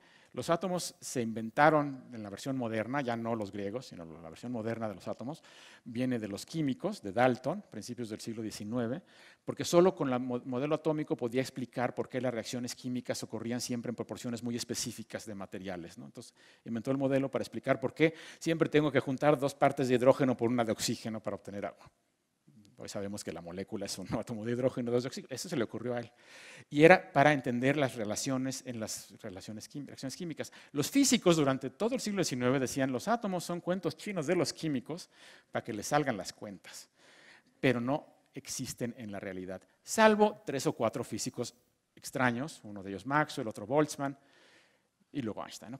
Einstein fue el que convenció a los demás físicos de que los átomos existían. No me voy a dedicar a eso, pero lo hizo en ese año. Entonces, el año milagroso de Einstein. Pero hizo esto, ¿ok? Entonces, esta es una teoría revolucionaria. Cambia por completo nuestra concepción del espacio y el tiempo a partir de dos postulados particularmente menzones. El primero ya lo había inventado Galileo, el segundo se lo inventó Einstein. El segundo es el crucial. Si no ponen el segundo, regresan a lo que decía Newton. Si ponen el segundo, todo cambia. Es una cosa impresionante. La relatividad costó tiempo que la gente la aceptara. Es una teoría muy elegante, pero no había ninguna evidencia este, empírica en ese momento, observacional, experimental, de que esto era así. Una teoría interesante, elegante, pero la gente no se la creía. De hecho, es muy, muy interesante, por ahí en 1909, Einstein en esa época era muy joven y no tenía trabajo en ninguna universidad, trabajaba en una oficina de patentes en Suiza porque no había encontrado trabajo en ninguna universidad, básicamente porque tenía muy malas calificaciones en la carrera. Entonces nadie lo quiso contratar porque tenía malas calificaciones. Entonces trabajaba ahí, después hizo esto y hizo otras cosas, se hizo famoso, todavía muy joven, pero era un físico ya famoso, prometedor. Entonces, en 1909 perdón, pidió trabajo en la Universidad de Berlín. Y uno de sus, una de las personas que le escribió una carta de recomendación fue Max Planck, un físico muy, muy famoso en esa época, 30 años mayor que Einstein, muy reconocido, mundialmente reconocido, el primero que hizo mecánica cuántica. Entonces en la carta es muy bonito porque pone, Einstein es un físico joven, muy brillante, que tiene, ha hecho trabajos muy importantes. Bueno, esto de la relatividad no hay que tomarlo en su contra, a cualquiera se le ocurren ideas raras, pero muestra que es alguien creativo. bueno, todavía la gente no creía mucho en la relatividad, tomó tiempo. La siguiente persona importante fue este que está aquí, 1908. Hermann Minkowski era un matemático De hecho, Minkowski había sido profesor de Einstein en la carrera, todos lo conocían en persona, era matemático, no físico. Y él se dio cuenta de una cosa muy interesante. Dijo, oye, todo lo que está diciendo Einstein, todos sus dos postulados, todo lo que dedujo, todo, lo puedo explicar con una suposición muy sencilla. No vivimos en tres dimensiones, vivimos en cuatro.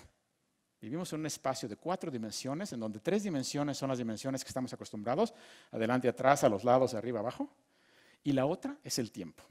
Entonces postulo cuatro dimensiones, el tiempo es una más de las dimensiones, y postulo que en este espacio de cuatro dimensiones puedo hacer geometría como la hacía Euclides, con un teorema de Pitágoras, como el de Pitágoras, nada más que le pongo un signo raro al tiempo, un menos. ¿Se acuerdan del teorema de Pitágoras? La suma del cuadrado de los catetos es igual al cuadrado de la hipotenusa. O sea, aquí es la resta del cuadrado de los catetos es igual al cuadrado de la hipotenusa. Es una especie de teorema de Pitágoras raro en el que hay un signo raro en el tiempo, en la dimensión que corresponde al tiempo, hay un signo al revés de lo que hubiera dicho Pitágoras. Y Minkowski dice, esta es una geometría rara, sigue siendo una geometría plana, no es un espacio curvo, pero ya venía influenciado por todas las ideas de Riemann, de que ya podía uno generalizar la geometría. Entonces Minkowski dice, es que si generalizamos la geometría haciendo esto, que suena muy raro, pero si lo hacemos, todo lo que dijo Einstein sale así, inmediatamente. Entonces dijo, la relatividad de Einstein es pura geometría. Es la geometría de un espacio de cuatro dimensiones con un teorema de Pitágoras un poquito chistoso. Y ahí sale todo. Es precioso. Minkowski en su artículo al final dice, el espacio por sí mismo y el tiempo por sí mismo están, están condenados a convertirse en meras sombras y solo la unión de los, de los dos mantiene una realidad independiente. El tiempo es relativo y el espacio es relativo, pero el espacio-tiempo no es relativo. El espacio-tiempo es absoluto. Es un espacio de cuatro dimensiones, el espacio-tiempo que tiene una geometría perfectamente bien definida, dada así. Es una idea fantástica, geometriza por completo toda la idea de Einstein. Es muy elegante, de ahí viene la palabra espacio-tiempo, la inventó Minkowski. Einstein al principio pensó que esto era una cosa rarísima. Dijo, este Minkowski, quién sabe qué ideas tan raras tiene, sí, parece que medio funciona, pero yo creo que no tiene mucho sentido, este, es demasiado abstracto y no hace falta, eso dijo al principio. Cambió de opinión bastante rápido. En los próximos, cuestión de un par de años, ya había cambiado por completo de, opinión y al revés. Se dio cuenta que esta idea de Minkowski era la clave, la clave para entender toda la física. Esta explicaba toda la relatividad que él había inventado y lo permitía ir mucho más allá. Entonces fue más allá. Y para ir más allá también tenía un problema. Yo les comenté la, la, clase pasada, ¿se acuerdan que les dije que Neptuno fue un planeta predicho teóricamente? Porque había discrepancias en la órbita de Urano que no se podían explicar tomando en cuenta este, lo que hacían Júpiter y Saturno, que distorsionan la órbita porque tienen su propia gravedad, son grandotes. Entonces, tomando Júpiter y Saturno y Urano, no podían, perdón, Júpiter y Saturno no se podía explicar bien la órbita de Urano, había una discrepancia. Entonces, Le Verrier dijo, ¿qué tal si es que hay otro planeta que no hemos visto? Grandote que anda por allá. Y ese podría explicar por qué Urano hace cosas raras, porque lo jala. Entonces dijo, debe haber un planeta nuevo, más o menos de tal tamaño, más o menos en tal lugar. Ahí van los telescopios. Voilà, Neptuno. Neptuno fue predicho. Y lo encontraron. Entonces, debería ya encarrerado, resulta que había un problema muy parecido del otro lado del sistema solar, en Mercurio, el planeta más cercano al Sol. También tenía un, les dije que había una eh, discrepancia muy chiquita. La órbita de Mercurio fallaba por 40 segundos de arco cada siglo. 40 segundos de arco cada siglo hacía algo que no debía hacer, o sea, se movía más de lo que debía.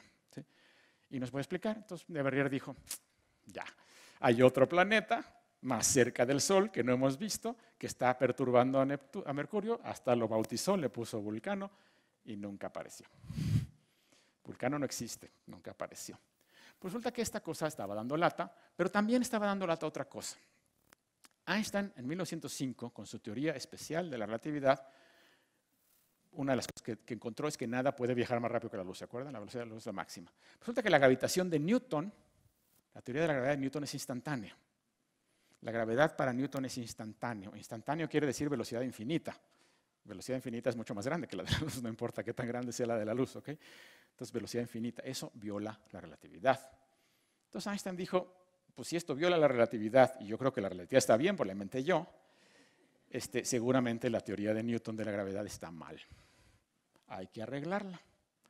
Entonces dedicó los siguientes 10 años de su vida a encontrar una nueva teoría de la, gravedad que cambiara, que mejorara la teoría de Newton. Para eso se regresó, es que esto Einstein lo hizo dos veces, es impresionante. Las dos veces, relatividad especial y relatividad general, Einstein se regresó a Galileo. ¿Se acuerdan? Relatividad especial, primer postulado, Galileo tenía razón, las velocidades son relativas, el principio de relatividad de Galileo. Aquí vuelve a ser lo mismo y dice, vamos a estudiar gravedad. ¿Cuál es la propiedad fundamental de la gravedad? Dijo, la propiedad fundamental de la gravedad la, la descubrió Galileo. Es el hecho de que todos los objetos caen igual de rápido cuando hay gravedad. Eso ya lo había visto Galileo, ¿se acuerdan? Aristóteles decía que no era cierto, Aristóteles estaba equivocado. Cuando hay gravedad, todos los objetos caen igual de rápido sin importar cuánto pesen. Y eso lo dijo Galileo y funciona bien la teoría de Newton, o sea, no hay problema. Pero Einstein lo llevó más allá, Einstein empujaba las ideas. Entonces dijo, a ver, vamos a hacer este experimento pensado a la Galileo. ¿Qué tal si en lugar de pensar como Galileo que estoy en un barco, pienso otra cosa? Pienso que me dejo caer. Pienso que no haya, por ejemplo, pónganse en una caja grandota, muy grande, y déjenla caer desde el edificio más alto del mundo. Y ustedes van dentro. Y dentro tienen una serie de objetos. Y vamos a suponer que la caída dura lo suficiente como que puedan hacer algún experimento interesante antes de chocar con el piso, ¿ok? Entonces ahí están. Entonces primero Einstein, ¿qué siento si me dejo caer? ¿Qué siento cuando caigo dentro de esa caja? Lo primero que va a pasar es que voy a flotar en la caja. ¿Por qué? Porque yo y la caja vamos cayendo igual de rápido. Entonces, si yo aquí hago esto, me regreso al piso. Pero si yo hago eso en esa caja, no vuelvo a alcanzar al piso nunca, porque iba igual de rápido que yo. Entonces, nunca lo voy a alcanzar, me voy a separar del piso y voy a flotar en la caja. Entonces, dentro de esa caja, mientras vayamos cayendo, floto. Y si yo tengo un objeto y lo suelto en la caja, ¿se va a quedar ahí? Digo, todos vamos cayendo, pero visto desde la caja, ahí se queda. Porque va cayendo igual que yo, igual que la caja, ahí se, ve, ahí se Qué chistoso. Si lo viento para allá, entonces mientras vaya dentro, visto dentro de la caja, hace una línea recta preciosa, velocidad constante hasta que choca con la pared de enfrente. Primera ley de Newton, movimiento rectilíneo uniforme. Entonces, caray, si me dejo caer en una caja, todo se comporta como si no hubiera gravedad. Si me dejo caer, la gravedad desaparece. Claro que no desaparece hasta que me estampe en el piso, pero mientras voy allá adentro, no la puedo medir. Dentro de esa caja es imposible medir la gravedad. Porque todos los experimentos que yo haga es como si no hubiera gravedad. La gravedad, como todos caemos igual, desaparece. Entonces, eso se llama el principio de equivalencia. Galileo dice todos los objetos caen con la misma aceleración en un campo gravitacional. Einstein lo hace más fuerte y dice, no, no más eso. Si voy cayendo, las leyes de la física son equivalentes a, a que no hubiera nada de gravedad. Por eso se llama principio de equivalencia. Las leyes de la física son equivalentes a que no haya gravedad. Y cuando no hay gravedad, ¿qué es lo que funciona? La relatividad especial de Einstein. Entonces dijo, las leyes de la física son equivalentes en caída libre a la relatividad especial. Esa es su idea. Y a partir de esta idea, de hecho Einstein alguna vez dijo que esta había sido la mejor idea de su vida. El pensamiento más feliz de mi vida, dijo Einstein, cuando se le ocurrió esta idea. ¿okay? Es Galileo, pero, pero reforzado, ¿okay? mucho más fuerte la, idea de Galileo. También por ahí hay una anécdota. Alguien ah, ah, cuenta la leyenda que alguna vez ya Einstein viejo estaba en un café con algún otro físico joven y a media conversación el otro físico sacó un cuaderno y empezó a anotar algo. ¿no? Y entonces Einstein le dijo, ¿qué estás anotando? Y el otro le dice, es que cada vez que se me ocurre una buena idea, la anoto en mi cuaderno para que no se me olvide. Entonces Einstein contestó, ah, yo nunca tuve ese problema, en toda mi vida nada más se me ocurrieron dos buenas ideas. Pero esta es una, ¿ok?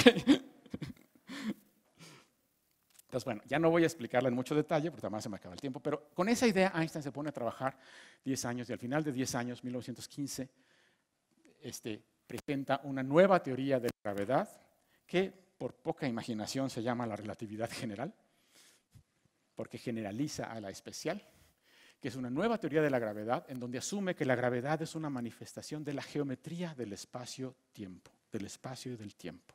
Toma esta idea de Minkowski del espacio-tiempo, pero para Minkowski este era un espacio-tiempo de cuatro dimensiones con un teorema de Pitágoras chistoso, pero plano, sin curvatura dice, vamos a meterle la curvatura como hacía Riemann en el siglo XIX, como hacían los matemáticos del siglo XIX. Vamos a pensar que es un espacio-tiempo de cuatro dimensiones, pero curvo. Y esa curvatura se comporta exactamente como la gravedad. Es precisa, o sea, reproduce la gravedad perfecto. Entonces dijo, la gravedad no es otra cosa más que la manifestación de la geometría del espacio-tiempo. Cuando el espacio-tiempo es plano, no hay gravedad, y cuando no es plano, hay gravedad. Los objetos con masa, como la Tierra, deforman la geometría del espacio-tiempo y eso es lo que sentimos como gravedad. Y si está deformado el espacio-tiempo y pasa por aquí la Luna, pues va a tratar de seguirse recto, no puede, va a empezar a dar vueltas porque el espacio-tiempo está deformado. Entonces explica la órbita de los planetas y demás.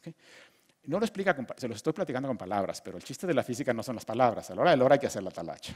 Hay que hacer los números y los cálculos y, y ver que esto explica las cosas numéricamente. Y sí las explica, y las explica muy bien. Ya las pongo aquí nada más para que las vean. Son las ecuaciones de campo de la relatividad general. Son enormemente elegantes y bonitas. Parecen sencillitas. Son horrorosas. son muy, muy complicadas.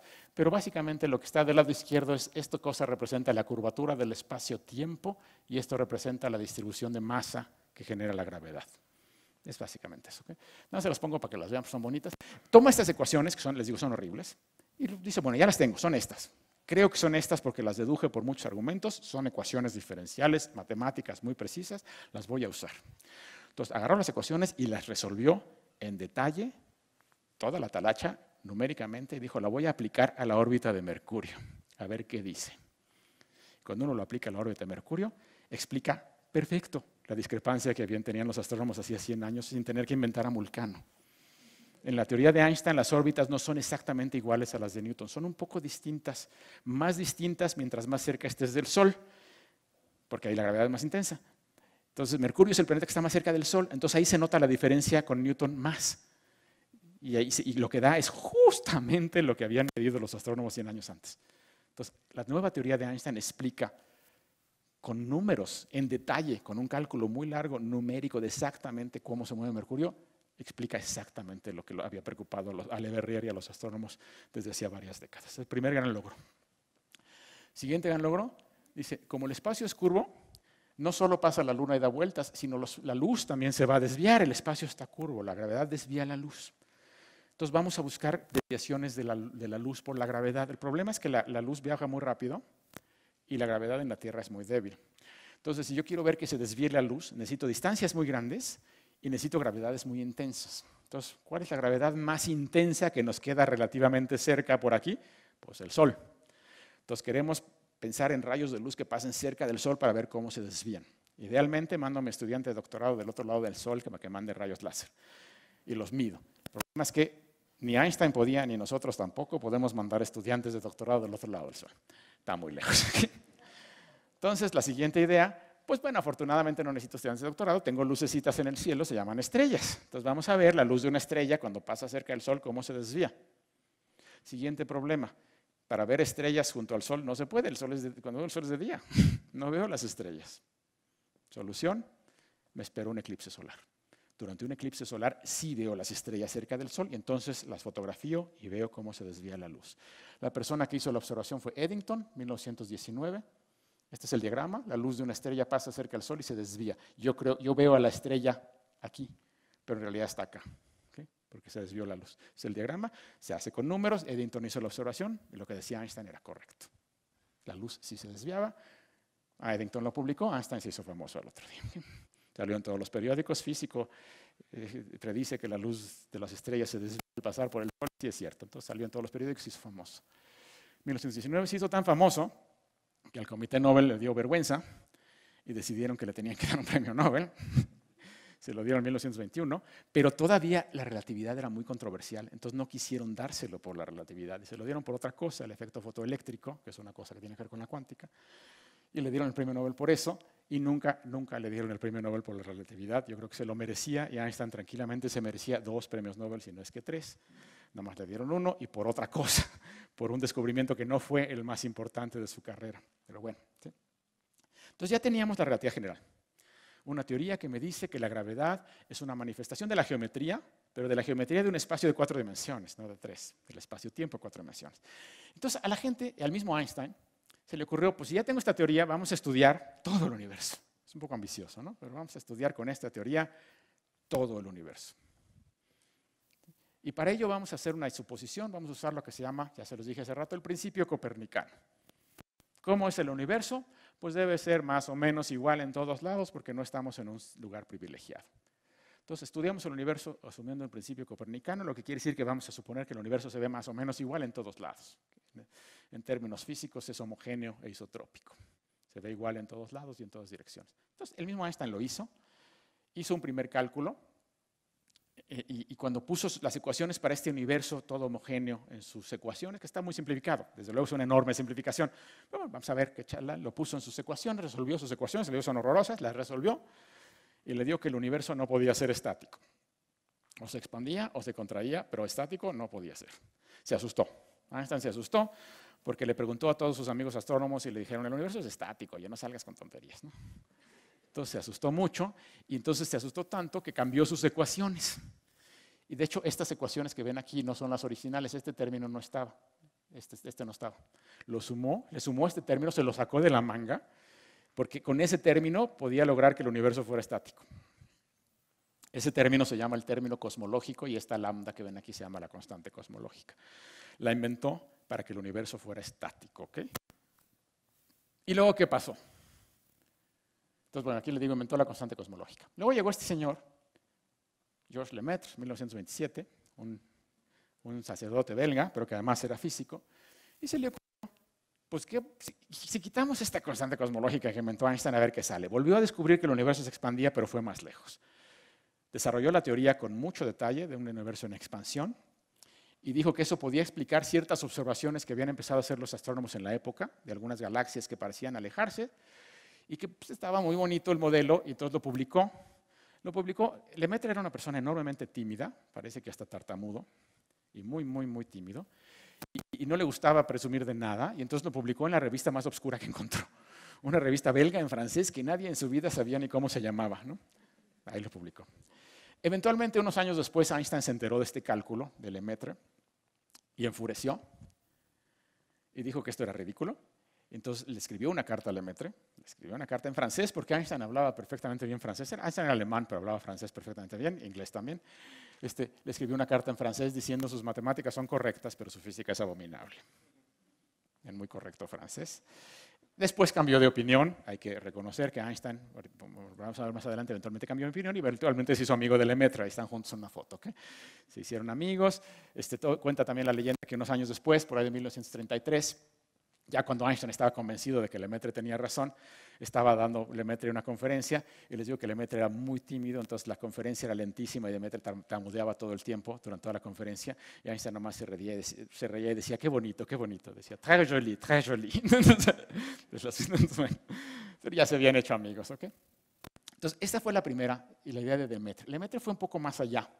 Lemaitre dijo, si, si el universo se expande, según la, la ecuación de Einstein, pues quiere decir que si lo veo en la película en reversa, se contrae, para atrás en el tiempo. Se contrae, se contrae, y si me voy suficientemente del tiempo, estaba todo junto. Entonces dijo, bueno, a lo mejor el universo se originó estando todo junto en un pasado muy remoto y la llamó la teoría del huevo cósmico. El universo se originó en una especie de huevo primigenio del que todo empezó a expandirse. Es como el antecedente de la teoría del Big Bang, la teoría de la gran explosión. 1927. Para 1929 pasó otra cosa. Hubble, del que ya les platiqué, Hubble descubrió que Andrómeda era otra galaxia, descubrió que había muchas otras galaxias, pero se puso a observar estas galaxias y se notó una cosa muy rara. Cuando uno observa la luz de las galaxias, uno puede sacar sus espectros, como les platiqué, para ver de qué están hechas. Y los espectros tienen una, todo tipo de espectro, también el sonido, hay un efecto muy bonito que depende del movimiento. Se llama el efecto Doppler. Cuando uno tiene una onda que se acerca a ustedes, las frecuencias se acortan y cuando se aleja, las frecuencias se alargan. Eso ustedes lo han oído con, con las ambulancias. Siempre que pasa una ambulancia, cuando se acerca se oye aguda y cuando se aleja se oye grave. Es el efecto Doppler, porque el sonido de la ambulancia es siempre igual en la ambulancia. La ambulancia se mueve respecto a nosotros. Cuando se acerca, las ondas se acercan y entonces se oye agudo. Cuando se aleja, se agrandan y se oye grave. Se llama el efecto Doppler. También le pasa a la luz. Entonces, cuando un em, objeto que emite luz se aleja de nosotros, la luz se corre al rojo, se hace más roja. Y cuando se acerca, se hace más azul, muy poquito. De hecho, no se nota con los ojos, pero si ustedes sacan espectros de, elementos, ven que las líneas estas que les enseñé del espectro negras, que fue como la huella digital, se mueven. Si el objeto se aleja, se mueven hacia el rojo y si el objeto se acerca, se mueven al azul. Entonces, eso se llama el corrimiento al rojo de la luz. Entonces, se puede usar para ver qué tan rápido se alejan o se acercan las cosas de nosotros si tengo la luz. Entonces Hubble empezó a hacer esto con las galaxias. Empezó a estudiar muchas galaxias y ver si se acercaban o se alejaban de nosotros. Por ejemplo, descubrió que Andrómeda se acerca a nosotros. Tan se acerca a nosotros que, como os digo, eventualmente se va a estampar con nosotros. Entonces, galaxias que estaban muy cerca en el grupo local, algunas se alejaban, otras se acercaban, pero en promedio no pasaba nada. Pero cuando uno se iba más lejos, resulta que empezaba a aparecer una tendencia. Y las galaxias muy lejanas, todas se alejaban de nosotros. Y mientras más lejos, más rápido. Se llama la ley de Hubble. Las galaxias se alejan de nosotros, mientras más lejos, más rápido. Es para galaxias lejanas, las que están cerca no es cierto, les digo, Andrómeda viene para acá, pero si me empiezo a alejar lo suficiente, ya todas se alejan y si están más lejos, más rápido. Las galaxias lejanas se alejan más rápido de nosotros cada vez, es decir, el universo se está expandiendo. Las galaxias lejanas se alejan de nosotros, mientras más lejos, más rápido. El universo se expande. Esto lo descubrió Hubble observacionalmente en 1929. ¿Okay? Y esto explica lo que decía Lemaitre. Lemaitre lo había predicho en 1927, nadie había hecho caso. Hubble lo demuestra observacionalmente, el universo se expande. Cuando Einstein se entera de las observaciones de, de, Hubble y se da cuenta de que sí es cierto, pues se enoja, pero ahora sí consigo mismo, y dice, soy un tarado, borra su constante cosmológica y declara que haber inventado la constante cosmológica fue el error más grande de su vida. Y la quita. Pero, como pongo ahí, una vez inventada la constante cosmológica, desinventarla ha resultado bastante complicado. Este, de hecho, hoy seguimos con la constante cosmológica mucho tiempo después y vamos a regresar a eso en las siguientes transparencias. ¿okay? ¿Qué más pasa? Ya voy a ver un poquito más rápido.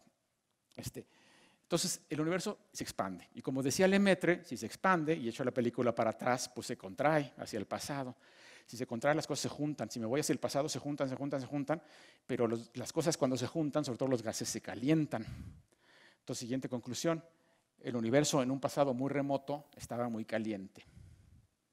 Los gases cuando los comprimen se calientan. Entonces esa es la conclusión a la que llega este señor, George Gamow, un ruso. Entonces dedujo que el universo, si era cierto lo que decía Lemaitre, era muy caliente. Ah, bueno, por cierto, antes de eso, esta idea que se expande el universo costó trabajo, ¿ok? Y la, gran explosión costó trabajo, hubo mucha gente en contra. Fred Hoyle, el que les enseñé hace rato, Hoyle, era también muy importante astrónomo, y él no creía en la teoría de la gran explosión. De hecho, el nombre Gran Explosión es una burla. Lo inventó Hoyle burlándose. Decía, estos, estos locos como Lemaitre que creen que el universo empezó en un Big Bang, en una gran explosión. Es un nombre de burla, pero pues ya, ya se quedó. Entonces él el nombre. Mucha gente no lo creía, pero sí. Entonces George Mann se imaginó que el universo había estado muy caliente en el pasado. Dijo, bueno, si estaba muy caliente en el ex pasado y se ha ido expandiendo, se ha ido enfriando. Pero no debe estar frío del todo, incluso hoy en día debe tener una reliquia de esa temperatura. Y hizo cálculos bastante detallados y dedujo y postuló junto con un estudiante suyo, Alfer, y un colaborador, Hermann, en 1948, que seguramente si mirábamos con cuidado, el universo seguía a una cierta temperatura, muy fría hoy en día, de aproximadamente 5 grados Kelvin. Kelvin es la escala de temperatura absoluta, en grados centígrados es menos 270 grados centígrados, 5 grados, bueno, menos, menos 273 es el cero. Entonces, más o menos de 5 grados Kelvin, o sea, como menos 266, 67. Y eso lo dedujo y publicó un artículo muy bonito. Este, y la gente empezó a buscar a ver si era cierto que podían medir esta temperatura del universo de aproximadamente 5 grados Kelvin, y se midió. Se midió en 1964. La midieron dos ingenieros, Penzias y Wilson, en esta antena que está aquí. Midieron Ellos eran ingenieros, la midieron de chiripa, no sabían lo que estaban viendo. Estaban viendo un ruido en su antena que no podían quitarse de encima por más que hicieran. De hecho, les regalaron esta antena porque en 1964 esta antena ya era obsoleta, era de los Bell Telephone Company. Se la regalaron porque ya era obsoleta, le iban a desmantelar. Entonces, no, no, no, yo nosotros la queremos. Hicieron hacer mediciones del espacio. Y, y, lo que querían era hacer mediciones de otras cosas, pero había un ruido, un ruido, un ruido que no se podían quitar. Entonces descubrieron que había, se asomaron y descubrieron que había unas palomas allá adentro anidadas. Entonces dijeron, malditas palomas. Mataron a las palomas, el ruido seguía igual. No, no, lo que pasa es que está sucio el telescopio. Entonces fueron a limpiar cacas de palomas por todo el telescopio, lo dejaron reluciente y el ruido seguía igual. Entonces ya desesperados, después de muchos meses, le hablaron a unos físicos, astrofísicos que estaban en una universidad cercana, oigan, estamos encontrando esto, no sabemos qué es. Y estos por poco se fueron de espaldas porque eran cosmólogos y le dijeron, acaban de descubrir lo que había predicho Gamow. Y sí, en efecto, les dieron el premio Nobel en 1978 por descubrir lo que hoy en día llamamos la radiación cósmica de fondo que es la reliquia de la temperatura inicial del universo que se fue enfriando y hoy está a una temperatura no de 5 grados Kelvin, sino como de 3, que para el cálculo de Gamow fue impresionante, casi le pega. 3 grados, de hecho 2.72 grados Kelvin, menos 270 grados centígrados es la temperatura del universo, se puede medir. Lo que ven aquí que es muy bonito, la gráfica, ven que hay una línea sólida. La línea sólida es la predicción teórica para un objeto caliente con una temperatura de 3 grados Kelvin, bueno, 2.72, y las crucecitas rojas que medio alcanzan a ver son la medición real de la temperatura del universo.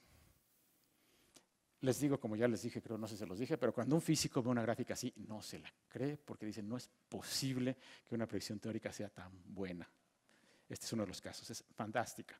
De las mediciones más impresionantes en la historia de la física. El universo sí tiene una temperatura de 2.72 grados Kelvin. Esto confirmó el Big Bang. Ningún otro modelo del origen del universo propuesto antes o después puede explicar esto. El Big Bang lo explica sin ningún problema. De hecho, lo predice. Entonces, esto convenció absolutamente a todos los físicos y astrónomos de que el Big Bang es correcto. La gran explosión ocurrió. ¿sí?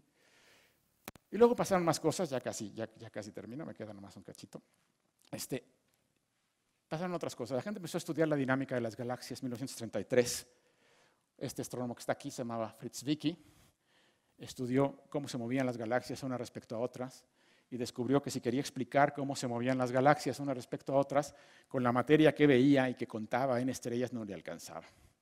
Tenía que haber mucha más materia que no podía verse. La bautizó inicialmente como la materia faltante, o le llamamos materia oscura. Así empezó en el 33. La cosa se quedó como una cosa rara hasta los 70, cuando esta persona que está aquí, Vera Rubin, una astrónoma muy, muy famosa, este, se puso a estudiar no solo ya muchas galaxias, sino una sola galaxia y cómo rotaban. Las galaxias espirales están dando vueltas, por eso las espirales. Estudió cómo rotaban, rotan muy lento. Nuestra galaxia se tarda 250 millones de años en dar una vuelta, Pero aún así uno puede con los instrumentos ver, medir cómo se está moviendo y uno puede estudiar lo que llaman las curvas de rotación, cómo rota la galaxia. Y descubrió también que no podía explicar cómo rotaban las galaxias a menos que hubiera mucha más materia que no estaba en forma de estrellas y que no podía ver más materia oscura. El problema siguió y siguió y siguió durante las siguientes décadas. Hoy es un problema importante, le llamamos la materia oscura, y resulta que debe haber como cinco veces más materia oscura en el universo que materia luminosa. Es lo que sabemos hoy en día. Cinco veces más materia oscura que materia luminosa. Y si creen que es muy fácil, polvito, polvo y gases fríos, y eso no se ve, no. No funciona, porque si esa materia oscura fuera, estuviera hecha de átomos, átomos normales, se nos echaría a perder toda la producción original de elementos, sobre todo de helio, en el origen del universo, de la que no voy a hablar en detalle, pero está muy bien calculada. Entonces, si toda esa materia fuera en realidad átomos, se nos echa a perder todo el cálculo de la existencia de helio. Entonces, no puede ser átomos. Entonces, allá afuera hay algo, materia, que produce gravedad, que no está hecha de átomos, no sabemos qué es, pero que es cinco veces más que la materia ordinaria. Ya con eso me estoy acercando al presente y estamos casi en el presente. 1998, pasó otra cosa que nadie pedía. Sabemos que el universo se expande de 1929 y hay gravedad, las galaxias tienen gravedad. ¿Y qué hace la gravedad? Si yo aviento esto hacia arriba, ¿qué va a hacer la gravedad? Pues me va a regresar, ¿no? lo va a jalar para abajo. Entonces, si el universo se expande, pero está lleno de materia, la materia va a ir frenando, frenando, frenando la expansión. Y posiblemente alguna vez se regrese, eso no sabemos, pero que la debe ir frenando, la debe ir frenando. Eso es lo que hace la gravedad. Entonces, durante mucho tiempo se trató de medir cómo se frenaba la expansión del universo. Es muy difícil medirlos, muy, muy difícil, porque tengo que ver galaxias que están muy, muy lejos, medir sus distancias con mucha precisión y ver qué tan rápido se mueven para determinar cómo se frena el universo. No se podía hacer hasta 1998. En 1998 se pudo hacer usando ya no cefeidas. ¿Se acuerdan las candelas Stardust, las cefeidas? No puedo ver cefeidas en galaxias tan lejanas, están muy lejos, entonces uso otro tipo de candela estándar, que es un tipo de supernova. Si alguien tiene curiosidad, luego les explico, pero hay un tipo de supernova muy específica que, tiene, que puede usar como candela estándar. Entonces empezaron a usar esas supernovas para medir la distancia con mucha precisión a galaxias muy, muy, muy lejanas y medir cómo se frenaba la expansión del universo. Y aquí está la gráfica que publicaron, no entendían todo. Lo interesante es que vean la región roja es el universo frenándose, la región azul es un universo que no se está frenando, sino al revés, está acelerando, los puntitos son las mediciones, prácticamente todos caen del lado azul. Es decir, la expansión del universo no se está frenando, es cada vez más rápido. no más lento. La expansión del universo está acelerando. Esto es un susto terrible. Esto es como si yo aventara esto para arriba y en lugar de caer de regreso viera que se acelera hacia afuera. Y diría, ¿qué demonios? No, no entiendo nada. ¿no? Es exactamente lo mismo, más que escala de las galaxias. La expansión del universo está acelerando. Es tan horrible que el grupo que hizo las mediciones por primera vez, les tomó más de un año hacer las mediciones, viendo con mucho cuidado a supernovas, dijeron, esto está mal, metimos la pata, las guardaron en un cajón y dijeron, vamos a volver a empezar. Y volvieron a empezar, y cuando volvieron a empezar les dio lo mismo. Entonces dijimos, pues, ni modo, sí se acelera, lo publicaron, y hoy en día no tenemos duda, les dieron el premio Nobel en el 2011 por el descubrimiento de la expansión acelerada del universo.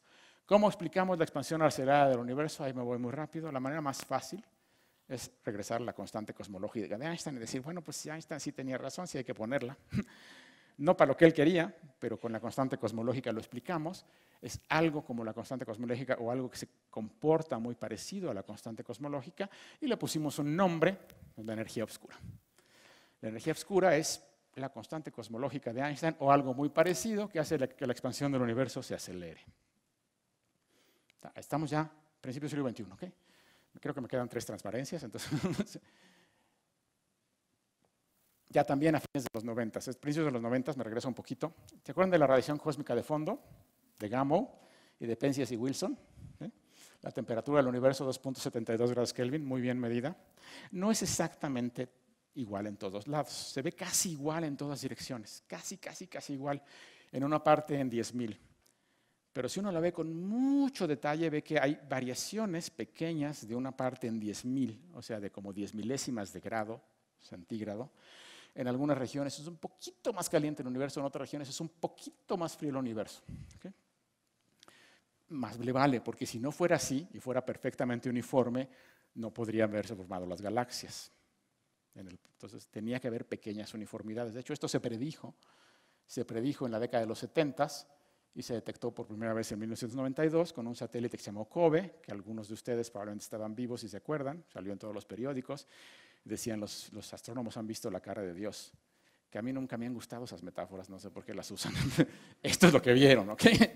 Las pequeñas inhomogeneidades en la radiación cósmica de fondo predichas en 1992, perdón, hecho en los 70, o sea, en 1992, y les dio el premio Nobel a estas personas en el año 2006.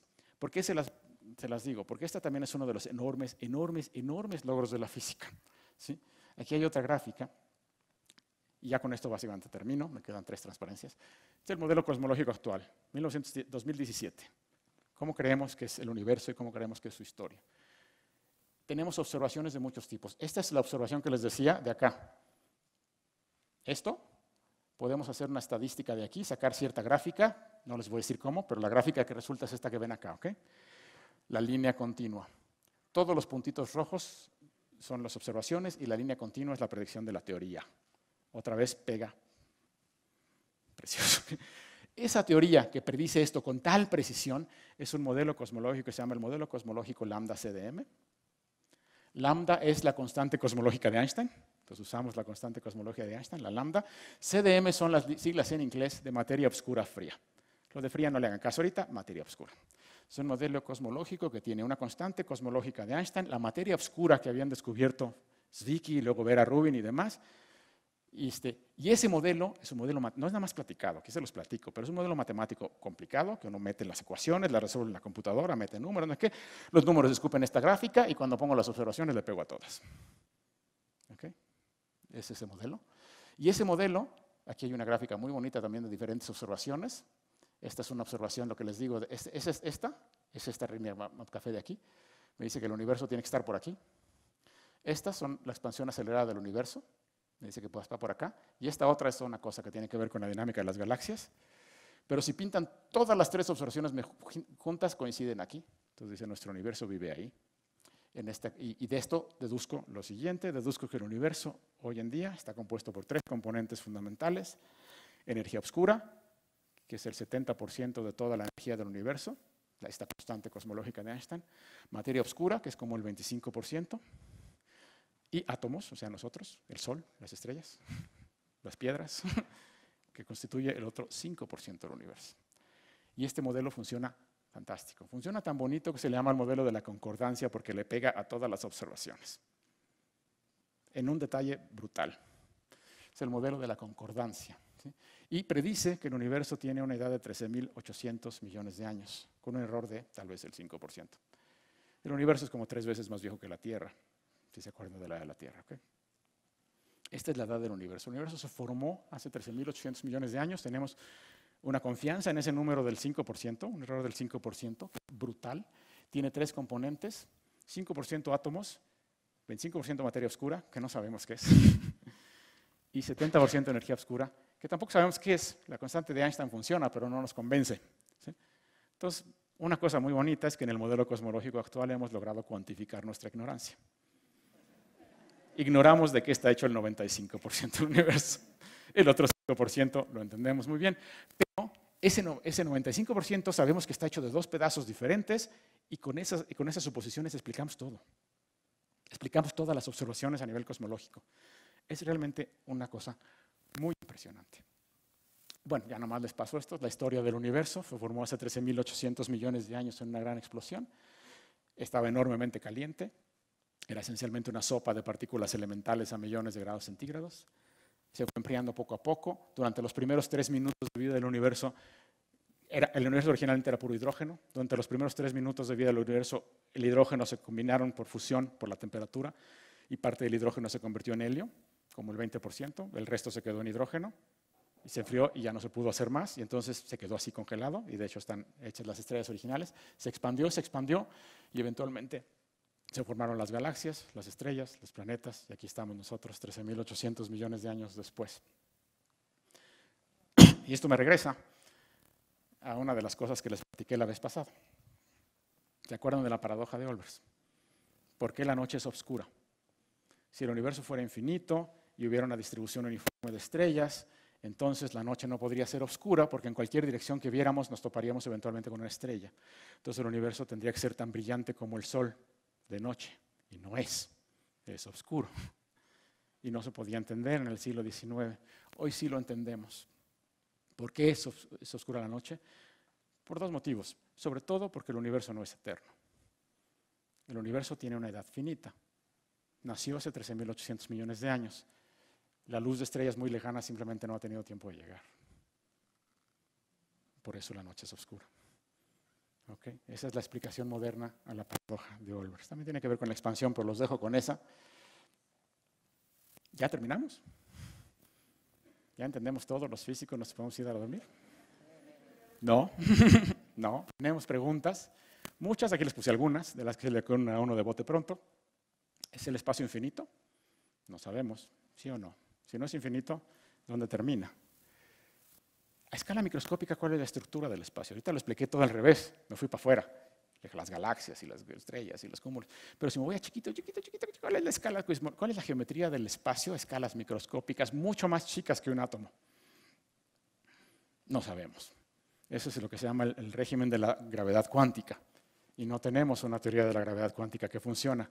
De hecho, Miles de físicos hoy en día están trabajando en tratar de encontrar esa teoría, no la tenemos. ¿Qué son la materia y la energía oscura? No sabemos, sabemos que suponemos que existen, funciona todo, pero no sabemos qué son. ¿Por qué hay más materia que antimateria? Ahí no les platiqué, pero nuestro universo está hecho de materia, no de antimateria, no entendemos por qué. ¿Qué pasó antes del Big Bang? ¿O qué le dio origen al Big Bang? ¿Qué había antes?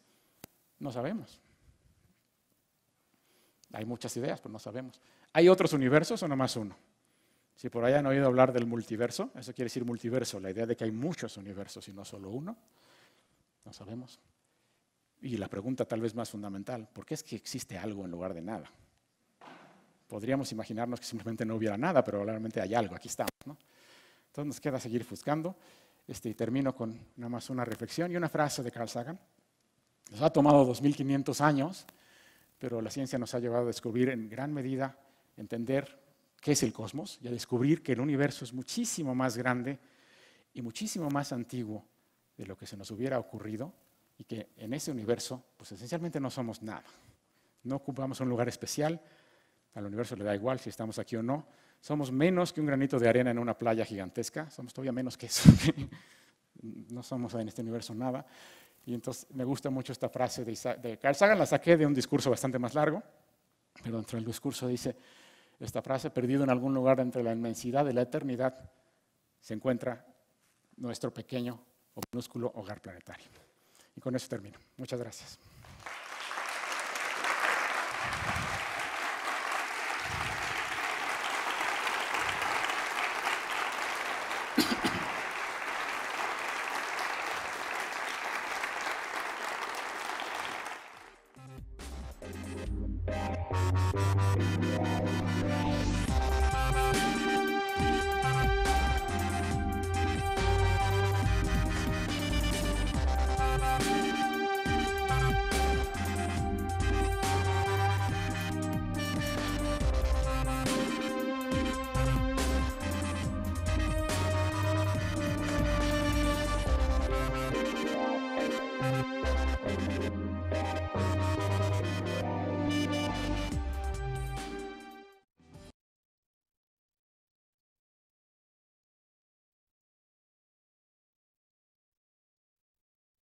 De ancho. Es un disco, pero no es completamente plana, sí tiene un cierto ancho. Este, todo se comporta en espiral. Las galaxias espirales, pues sí, tienen estos brazos espirales, pero como les comentaba, hay galaxias que no son espirales, que son elípticas. ¿Qué provoca el movimiento espiral? El movimiento espiral lo provoca un poco lo mismo que toda la rotación de los planetas. es la, como les comentaba, no sé si los comenté, pero la conservación de una cosa que se llama momento angular. Cuando se forman las galaxias o las estrellas son nubes de polvo gigantescas y siempre tienen un poquito de movimiento. Y cuando se empiezan a acercar, ese movimiento se vuelve un momento como de rotación porque se conserva el momento angular. El momento angular es lo que hacen las bailarinas, que cuando giran con los brazos extendidos giran lento y cuando los cierran giran rapidísimo. Es conservación de momento angular. Cuando algo que gira muy despacito se concentra, gira rápido. Eso le pasa a la Tierra, por eso gira, al Sol, por eso gira, a los planetas, porque se formaron de una nube que giraba. Y las galaxias espirales se forman igual, de nubes gigantescas, enormes de gas y polvo, que a lo que van colapsando, se conserva un momento angular y empiezan a girar y giran, les digo, lento. La galaxia tarda 250 millones de años en dar una vuelta. La estructura de las espirales no queda del todo clara. Suponemos que tiene que ver con ondas de presión, pero es una de las preguntas que tienen todavía los astrofísicos, más o menos abierta y que se siguen haciendo modelos para tratar de entender en detalle la estructura espiral. Pero ya es un detalle, pero sí, la gente se lo pregunta. Antonio desde el CEM UNAM Costa Rica. muchos saludos a Costa Rica. ¿Cuál es su opinión sobre la necesidad de postular alguna nueva teoría de la gravedad debido a las limitaciones de la teoría de la relatividad general? Por ejemplo, la gravedad emergente. Bueno, si postular una nueva teoría de la gravedad, por supuesto que todos sabemos que hace falta, por lo que decía el mero final. Este, no sabemos cuál es la estructura microscópica del espacio. Y tenemos buenas razones para pensar que a nivel microscópico la relatividad general de Einstein no funciona. Cuando digo microscópico me refiero a muchísimo más chiquito que un átomo, ¿ok? O sea, tan chiquito, o sea, comparado con un átomo, nosotros comparados con el átomo, esto es por lo menos del doble de más chiquito, mucho más chiquito que un átomo. Pero a esas escalas sabemos que está mal la teoría porque predice cosas raras como singularidades, gravedad infinita, cosas raras que no nos gustan, entonces sabemos que ahí hay un problema y, y tenemos todos la esperanza de que la solución, y hasta le pusimos nombre, la solución se llama gravedad cuántica, nada más que no la, no la tenemos. es nada más un nombre para una teoría que no tenemos del todo. Lo de la gravedad emergente es una idea nueva con la que yo no estoy muy convencido, pero habrá que esperar un poco. Entonces no, no voy a explicar en detalle, pues es algo muy reciente. Pedro desde Universum, ¿podría hablar algo sobre la estructura del vacío y si esto tiene que ver con la materia oscura? Es muy buena pregunta. Este, no lo mencioné. En, en la mecánica cuántica, de la que no hablé nada, en la teoría cuántica predice que el vacío no está vacío, que lo que consideramos espacio vacío está lleno de energía fluctuando. La mecánica cuántica nada es, nada es, preciso, siempre hay fluctuaciones de todo. Entonces predice que en el vacío hay energía fluctuando, lo llamamos el vacío cuántico, y hay partículas como apareciendo y desapareciendo de la nada. Y hay una energía, la energía del vacío, la energía del vacío cuántico. Entonces, este, esa es la estructura que entendemos del vacío. No tiene nada que ver con la materia oscura. Con la materia oscura no tiene nada que ver. La materia oscura, la mejor explicación es que es algún tipo de partícula elemental que no hemos descubierto en los aceleradores, pero que algún día aparecerá. Pero este, la energía oscura sí, la energía oscura es un tipo de energía que está permeando todo el universo. Entonces, la explicación más natural de energía oscura sería que es la energía del vacío cuántico. Esa es la explicación más natural. El problema es que no funciona. Y no funciona por muchísimo. De hecho, por ahí dicen que es la peor predicción en toda la historia de la física teórica. Porque la energía del vacío cuántico es 120 órdenes de magnitud más grande que la constante cosmológica que medimos eh, observacionalmente. O sea, 120 órdenes de magnitud quiere decir un 1 con 120 ceros, ¿ok? Es un 1 con 120 ceros veces más grande el valor que sale de la teoría cuántica que el valor que medimos. Entonces, por eso dicen que es la peor predicción en la historia de la física. Entonces, en principio sonaba razonable, pero no pega por muchísimo. Desde universo, ¿cómo sabemos que no existe un centro del universo? Si existe un Big Bang y se están expandiendo, no es lógico pensar que se expandió igualmente en todas direcciones, no sería factible pensar que en ese punto inicial puede seguir siendo el centro del universo. No, no funciona así la expansión. Las galaxias se alejan todas unas de otras sin importar dónde estés parado, principio cosmológico. No importa en qué galaxia te pares, no importa que te pares del otro lado del universo, verías lo mismo. Las galaxias todas se alejan de ti, mientras más lejos, más rápido.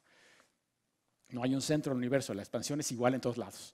El universo podría ser infinito, no lo sabemos, en cuyo caso era infinito desde el principio, pero estaba todo junto, pese a que era infinito. Podría ser finito, tampoco lo sabemos, pero no hay un centro. El, Big Bang no ocurrió en un punto. En ese sentido, no es, les digo que la gran explosión es una broma.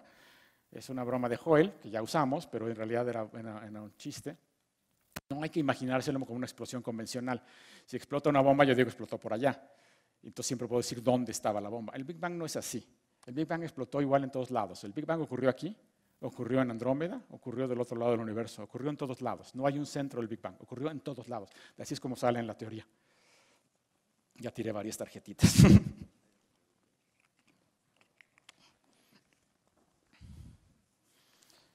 ¿Cómo se debe entender que funciona el tiempo al ser relativo de acuerdo con la relatividad de Einstein y con la geometría de Minkowski? ¿Cómo se entiende el tiempo en esta geometría? ¿Es lineal o cómo funciona? Bueno, el tiempo sí es lineal, en la teoría de Einstein, este, en la relatividad. Lo que ocurre es que no es igual para todos lados en el sentido de que si yo me muevo respecto a otra persona, no coinciden nuestros relojes. Si yo estoy aquí parado y pasa alguien moviéndose muy rápido respecto a mí, sus relojes respecto a los míos se atrasan. Es lo que yo veo. Pero como todo es relativo, él lo ve al revés. Él ve que sus relojes están normales y los que se atrasan son los míos. Aunque suene raro, sí funciona y así es como funciona. Entonces, el tiempo es relativo en ese sentido. Si nos movemos distinto, el tiempo es distinto, pero cuando no más pasamos, nada más vemos ese efecto. Cuando alguien se va y regresa, entonces sí, si alguien se va de aquí muy lejos, muy rápido y regresa, sus relojes cuando se vuelve a encontrar conmigo están atrasados. ¿Qué tan atrasados? Depende de qué tan lejos se fue y qué tan rápido iba. Pero en principio siempre están atrasados. Esa es la teoría de la relatividad especial, pero el tiempo sí fluye al futuro. En la relatividad general también fluye al futuro, pero ocurre otra cosa muy bonita. El tiempo fluye más lento cuando hay mucha gravedad y más rápido cuando hay poca. El efecto es chico en la Tierra, pero se puede medir. En la Tierra, si, uno, está aquí parado en la Tierra con un reloj muy preciso y uno se va al espacio allá lejos, digamos a al medio camino a la Luna o algo así, los relojes allá afuera pierden, perdón, los relojes aquí abajo pierden un segundo cada 30 años respecto a esos. Un segundo cada 30 años no suena mucho, pero se puede medir perfectamente bien con nuestros relojes atómicos modernos. Y no solo eso, sino que si no lo toma uno en cuenta, el GPS no funciona. Porque el GPS son relojes atómicos allá arriba y se, se, adelantan respecto a los relojes de aquí abajo. Un segundo cada 30 años. Pero eso es suficiente como para que en cuestión de una semana, si no lo toma en cuenta, se equivoquen por un kilómetro. O entonces sí importa. Pero sí es lineal. Pedro en Universo Mencionó que se puede calcular la edad de la Tierra en base a la cantidad de helio en el planeta y suponiendo que esta cantidad es resultado del decamiento radiactivo. No, no el helio, o sea, esa fue la idea original de Rutherford, como su primera aproximación sencillita. No es la mejor manera de hacerlo. La mejor manera de hacerlo es no el helio, sino tomando en cuenta cuánto uranio hay y cuántos productos del decamiento del uranio, en particular el plomo y otros elementos que se forman a partir del decamiento radiactivo del uranio. Entonces, viendo las proporciones de esos minerales hoy en día, podemos deducir la edad del universo porque podemos deducir cuánto uranio había. Básicamente todo el plomo que hay hoy viene del uranio porque la vida media de ese plomo radiactivo es tan corta que para escalas de la vida de la Tierra desaparece. Entonces todo el que hay ahorita, si había en el principio ya no queda nada. Lo que hay ahorita todo viene del uranio. Entonces de ahí se deduce. ¿Este cálculo coincide con la cantidad calculada por otros métodos? Sí. Todos los métodos que se han diseñado a la fecha coinciden bastante bien en aproximadamente 4.600 millones de años. Unos son más precisos que otros, pero la edad de la Tierra que se calcula hoy en día es usándolos todos y combinándolos y nos da 4.540 millones de años. No hay en esta, no hay otra fuente natural de helio. Sí, les digo, no se usa el helio. El helio se produjo en gran medida en el origen del universo como un 20% y se produce en el centro de las estrellas. ¿El viento solar contiene núcleos de helio? Sí, pero sobre todo son protones y si llegan a la Tierra, pero la cantidad es mínima, no afecta a los, los radios. Pero digo, no se usa en realidad el helio para eso hoy en día. La distorsión afecta también la mente de los seres humanos. No entiendo a qué distorsión se refiere. Si se refiere a la distorsión de la geometría causada por la gravedad, no, porque somos muy chiquitos comparados con el planeta Tierra y la distorsión de la geometría que produce el planeta Tierra es muy chiquita. La gravedad es muy débil y aunque hace que me rompa la pierna si me caigo de aquí, la distorsión de la geometría aquí que produce la gravedad terrestre es de una parte en mil millones. Es decir, el pobrecito de Riemann nunca hubiera podido medir nada porque ni siquiera hoy en día tenemos instrumentos capaces de medir una distorsión en la geometría de los triángulos de una parte en mil millones. No podemos. Lo que sí podemos es medir un segundo en cada 30 años, que es equivalente en tiempo. Ahí sí podemos. Nuestros relojes son suficientemente buenos, pero nuestras mediciones de reglas y, ángulos no. Y nosotros somos tan chiquitos que no, no nos afecta nada. ¿De qué materia es la energía oscura? Justamente, pues, como comentaba, no sabemos. No es materia, por eso no le decimos materia oscura. Materia oscura es otra cosa, le decimos energía oscura porque no es materia. Es algún tipo de cambio de energía, pero no sabemos qué es. Es una de las grandes preguntas. ¿Cuál es el origen del hidrógeno? El hidrógeno es el elemento más sencillo de todos. Es un solo protón, un protón con un electrón dándole vuelta. Entonces el hidrógeno es lo que es muy fácil de explicar, pues lo primero que se puede formar. la pregunta siguiente sería, ¿de dónde salieron los protones y los electrones en primer lugar? Pero si hay protones y electrones, lo primero que va a formar es hidrógeno. Es muy fácil. ¿De dónde salieron los protones y los electrones? No estamos del todo seguros, pero al origen del universo había grandes cantidades de energía.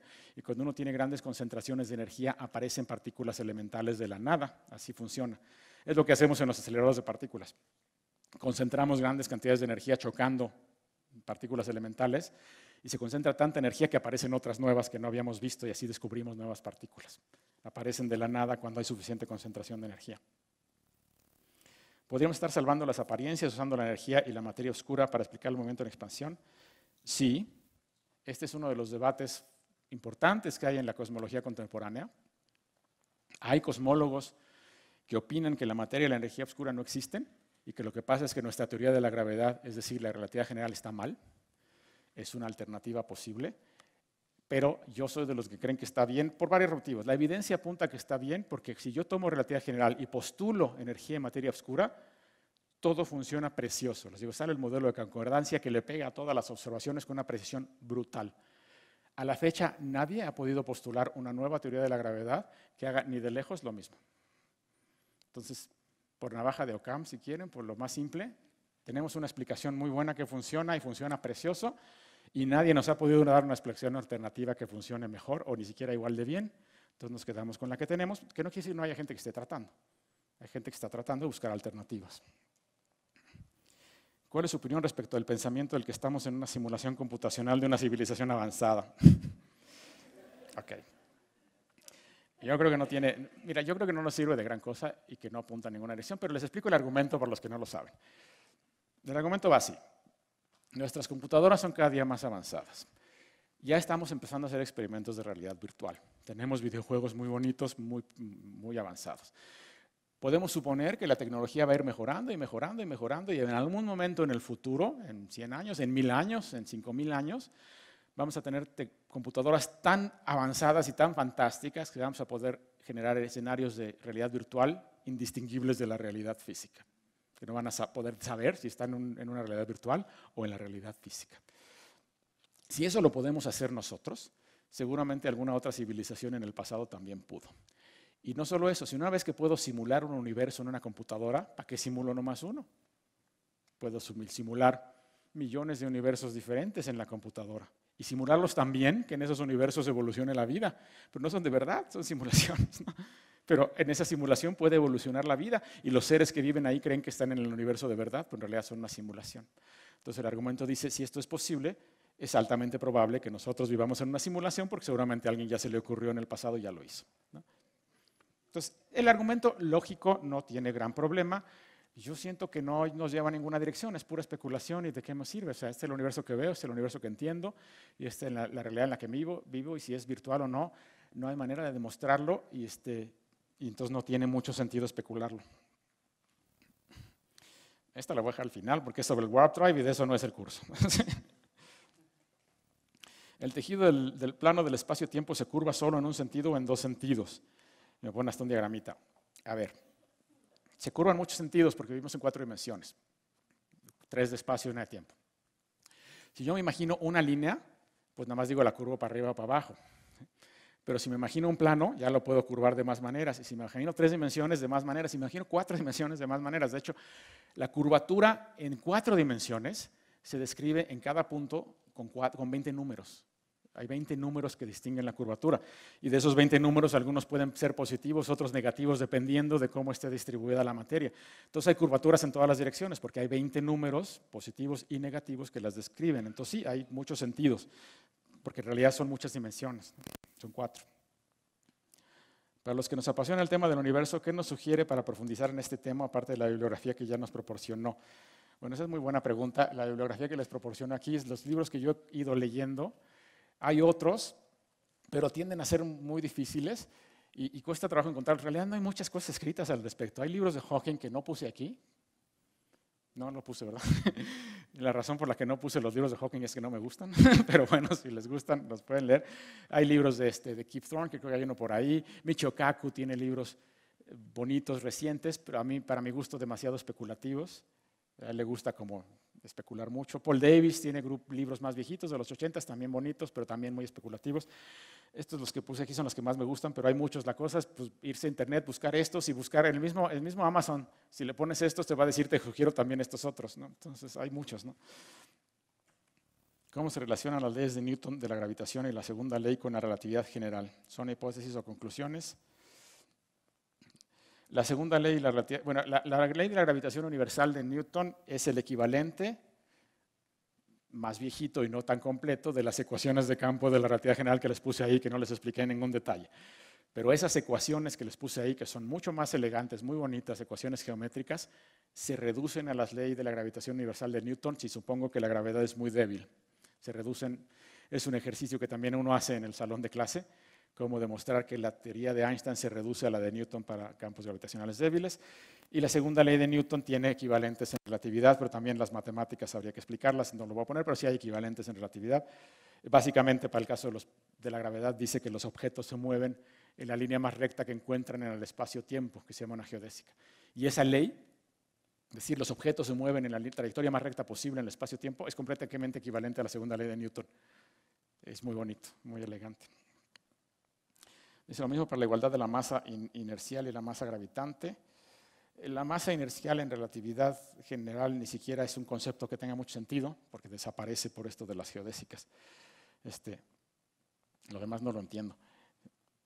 Quisiera conocer su opinión acerca de la aplicabilidad de la geometría de, de Finsler a la electrodinámica relatividad general, institución de la de Riemann. Hijo, ahí sí me confieso ignorante, no sé qué sea la geometría de Finsler. Este, no, eh, la geometría que usamos es, no, de hecho, ni siquiera es la riemanniana, es, la llamamos geometría no riemanniana o lorenciana, pero está inspirada en la de Riemann. El no riemanniano viene del menos raro en, la, en, el teorema de Pitágoras. Pero sí, no conozco la otra. ¿En qué gasta su energía una onda gravitacional? Facultad de Filosofía. No es que la gaste, ¿no? Una, una, una onda transporta energía de un lugar a otro, eso es una onda. El sonido el sonido lleva energía de, mi boca a sus oídos, pero la lleva a todas las paredes, la lleva a todos lados, no nomás ahí, y la transporta. No, no es que la gaste necesariamente, no, la gasta en nada.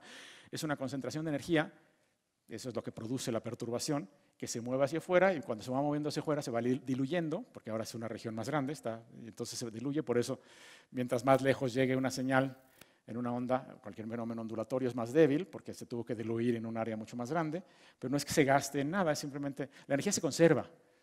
Energía no se gasta, ¿no? Un fenómeno ondulatorio con una onda gravitacional conserva energía, no la pierde en ningún lado. El sonido aquí también conserva energía, pero sí se pierde cuando choca con las paredes y demás, porque la absorben las paredes, pero, no es que se gaste, la, energía se conserva, es, es, una ley fundamental. La detección de ondas gravitacionales es una demostración experimental de la geometría de cuatro dimensiones, espacio-tiempo. Bueno, no les platiqué de las ondas gravitacionales, pero esta es mi corbata de ondas gravitacionales. Esta es la señal de ondas gravitacionales.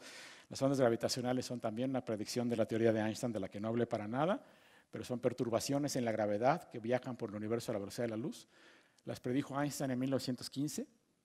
Se detectaron por primera vez el año pasado.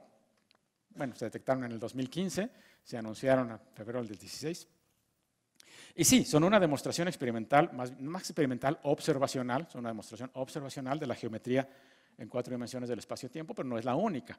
La desviación de la luz por el Sol, que se midió en 1919, es una demostración observacional de la geometría curva del espacio-tiempo. Entonces, esto lo sabemos desde 1919, esta es otra, otra manifestación, pero tenemos desde hace mucho y ha habido otros experimentos en el, tiempo que, lo han demostrado. Esta también es del Warp Drive, entonces la velocidad de la luz también fue constante en el Big Bang. Este, la velocidad de la luz es una constante de la naturaleza hasta donde sabemos, es una de las tres constantes fundamentales de la física. Las tres constantes fundamentales de la física el día de hoy son la velocidad de la luz, la constante de gravitación de Newton, que no se las puse por ahí, pero es la que controla la, intensidad de la gravedad, y una que se llama la constante Planck, que controla los fenómenos a nivel microscópico, la mecánica cuántica. Son las tres constantes fundamentales de la física. Todas las demás constantes de las que hayan oído hablar son derivadas, son consecuencias de estas, y hasta donde entendemos y nuestras teorías más modernas y más exitosas suponen que son absolutamente constantes, siempre van en lo mismo. Hay especulaciones que dicen que a lo mejor no valen lo mismo y han variado en la historia del universo. Esas son ideas especulativas. Está bien que la gente tenga esas ideas, luego hay que checar si lo que uno saca de ahí funciona. Hasta ahorita no han podido predecir nada mejor que lo que tenemos, entonces digamos que la suposición racional de momento, basada en otra vez la navaja de Occam, que dice que no hay que hacer suposiciones más allá de las necesarias, diría son constantes. Pero si en algún momento alguien demuestra que una teoría en donde no son constantes explica mejor el universo actual, pues habrá que hacerle caso. ¿no? ¿Y se sabe por qué el tecnesio no lo hay en la Tierra? la verdad no sé, no soy químico, no sé muy bien cuál sea el origen del tecnesio. O sea, aquí dice, y es sintético, es radioactivo. No me queda muy claro por qué. Hay elementos radioactivos, los elementos radioactivos se desintegran. Si las vidas medias son cortas, pues se desintegran todos. la Tierra es muy vieja. Entonces, si tengo elementos que formaron la Tierra original, pero tenían vida media corta, en toda la historia de la Tierra ya se desintegraron, ya no queda nada. Entonces, esos ya no existirían. No sé del tecnesio, por ejemplo, si el plutonio sí. No hay plutonio natural en la Tierra, ese no existe. El plutonio es el primer elemento artificial. Bueno, de hecho el neptunio, pero el plutonio es un elemento artificial. Se genera en los reactores nucleares la pregunta sería, ¿por qué no se generó nunca en el universo? Sí se generan, las explosiones de supernovas seguro se genera plutonio, pero el plutonio siempre es radioactivo y su vida media es relativamente corta, unas decenas de miles de años, que para la edad de la Tierra es brutal. Entonces, el que haya podido ver al origen de la Tierra se desintegró hace muchísimo, ya no queda nada y lo que hay ahorita todo lo producimos nosotros. Entonces, el tecnesio no sé, pero supongo que es algo parecido. Este Héctor Jaimes, Prepa Sunam, la fusión requiere mucha energía cómo, fueron los experimentos de Rutherford si no contaba con esa tecnología. Bueno, Rutherford no hacía estrictamente función nuclear.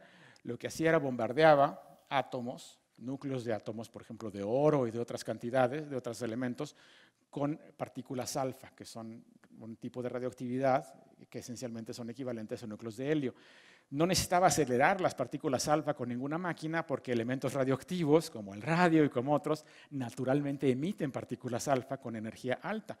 Entonces lo único que tengo que poner es una pelotita de uranio, de radio, algo así, en una cajita de plomo y dejarle un hoyito. Y por ese hoyito voy a estar, van a estar saliendo partículas alfa solitas de repente y, y le pongo enfrente oro y le están pegando al oro y entonces ahí puedo checar qué le pasa al oro. Es lo que hacía Rutherford. No tenía aceleradores de partículas, tenía sustancias radioactivas. Si el Sol está a la mitad de su vida, ¿no debería tener 50% de hidrógeno en lugar de 81? Esta es buena pregunta. Este, no, porque cuando se va acumulando el helio en el centro del Sol, este, a las temperaturas del centro del Sol, el helio no se puede fusionar. Entonces empieza a acumular, acumular, acumular helio. Vaya un momento en que hay tanto helio en el centro del Sol que ya las reacciones de, fusión de hidrógeno se detienen porque el helio le estorba. Entonces ya no va a poder fusionarse más hidrógeno. Entonces nunca va a convertirse todo el hidrógeno en helio. El Sol se va a morir cuando tenga todavía como 70% de hidrógeno. Lo que pasa es que aunque tiene mucho hidrógeno, en el centro ya se acumuló mucho helio y ese helio ya no deja que el hidrógeno se fusione y entonces va a apagar. Entonces, esos cálculos se hicieron desde que los hizo Gamow y Bethe y esos en la década de los 50 y se entiende bastante bien. Entonces, el Sol se va a apagar cuando le pases. De hecho, se va a apagar después, porque lo primero que le va a ocurrir es que se va a empezar a enfriar, se va a empezar a fusionar un poco de helio, va a crecer, se va a hacer una gigante roja, pero ahora los procesos ya son distintos, se aceleran y cuando el Sol se convierte en una gigante roja ya solo le va a quedar una décima parte de su vida o menos. Los procesos se entienden, son complicados, pero se entienden. La expansión acelerada del universo no tendrá que ver con la geometría del universo. Que entra una balsa en un río que se acelera al comenzar a caer por cascada. No me queda muy claro ahí la analogía. La expansión del universo, pues sí, tiene que ver con geometría, en tanto que la expansión es geometría, está cambiando la geometría. Este, el problema es que la produce. La geometría del universo se distorsiona por concentraciones de masa y energía. Eso es la gravedad. Una expansión del universo acelerada requiere una concentración específica de energía y esa es la energía oscura. Es lo que necesitamos para explicar la expansión acelerada. O sea, eso es lo que sale de la ecuación. En la sesión pasada mencionó que en la naturaleza nada tiene una razón, sin embargo, una gran pregunta, ¿por qué hay algo y no nada? Similar a lo que se planteó Heidegger sobre el tiempo y el ser y la nada. Pregunto, ¿qué sentido le da la astrofísica, las matemáticas, la ciencia y al ser? A ver, este está con Universidad Michoacana. Bueno, sí, dije que la naturaleza no tiene una razón y en eso pues me mantengo. La pregunta de, qué, de por qué hay algo en lugar de nada es una pregunta física, no es una pregunta en el sentido de razones teleológicas o de que algo funcione para nada, sino es una pregunta legítima. ¿Por qué resulta que el universo es así? ¿Por qué no hubiera resultado más fácil que no hubiera universo? O sea, si la energía se conserva, ¿no sería más fácil que fuera cero y que no hubiera nada? Esto suena más razonable, pero allí hay algo, entonces una explicación no la tenemos de por qué hay algo así. ¿Qué sentido le da la astrofísica o las matemáticas, la ciencia al ser? Yo creo que no es que le den un sentido al ser, al ser de nuestra existencia como humanos, no creo que le den ningún sentido. Nos explican cómo funciona lo que nos rodea y eso nos ayuda a entender la naturaleza y a entendernos a nosotros mismos, pero no es que le dé un sentido. Yo creo que, ah, como les comentaba al final, al universo le da lo mismo si estamos aquí o no. La humanidad completa le da igual al universo si nos morimos todos mañana, el universo sigue como si nada. O sea, no somos absolutamente nada para el universo. Entonces, en ese sentido, no le va a dar sentido a nuestras vidas. Yo ahí sí, perdón, me pongo un poco filosófico si quieren, creo que el sentido a nuestras vidas se lo damos nosotros. No se lo tiene que dar el universo, ni la astrofísica, ni las matemáticas, ¿no? se lo tenemos que dar nosotros. Sinvestav, Ciudad de México. ¿Quiere decir que entre más antiguo sea el universo se encontrarán elementos más complejos? Este, no sé si lo que entiendo aquí es correcto. Este, no en el sentido de que, o sea, si, el universo envejece más, habrá más, elementos más complicados que los que conocemos. No, no creemos, porque no hemos encontrado más elementos estables en la tabla periódica. El último elemento estable es el uranio.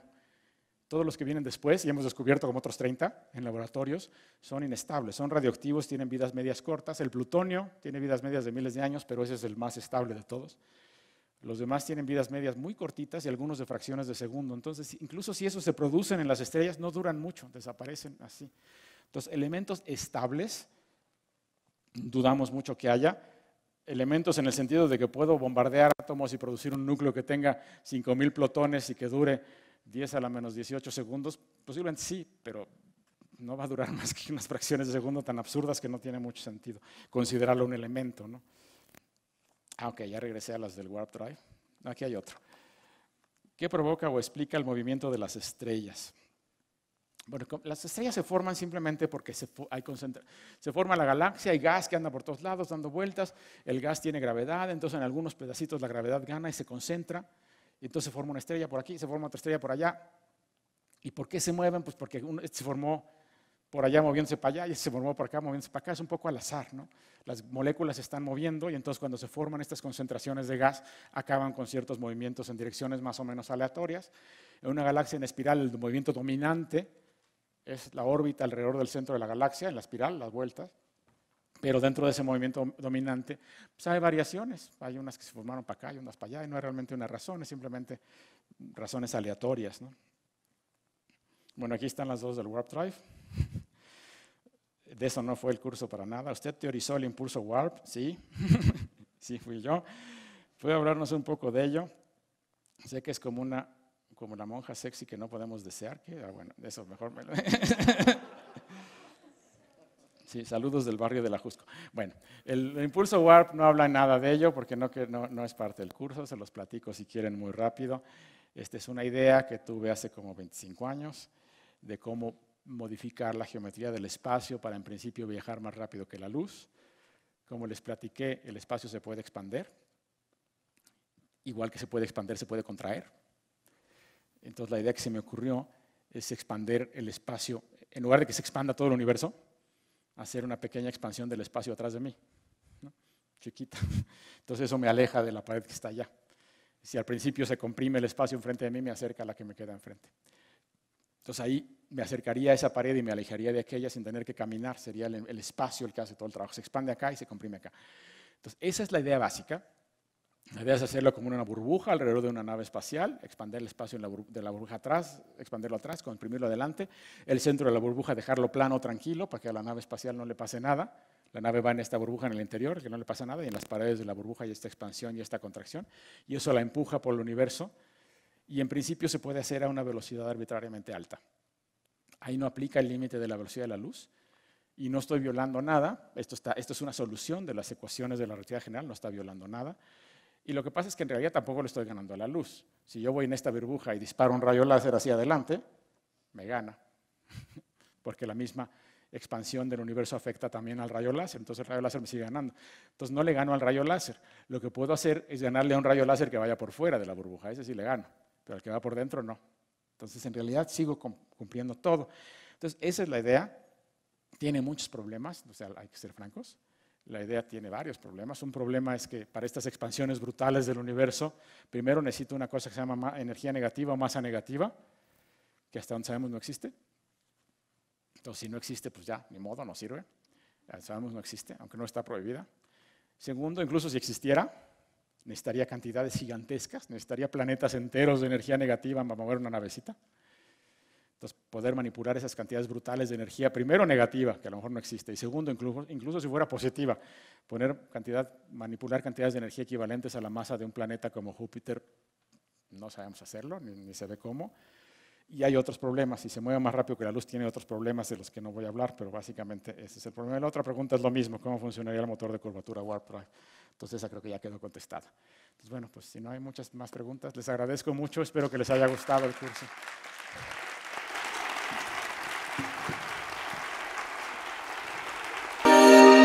grandesmaestros.unam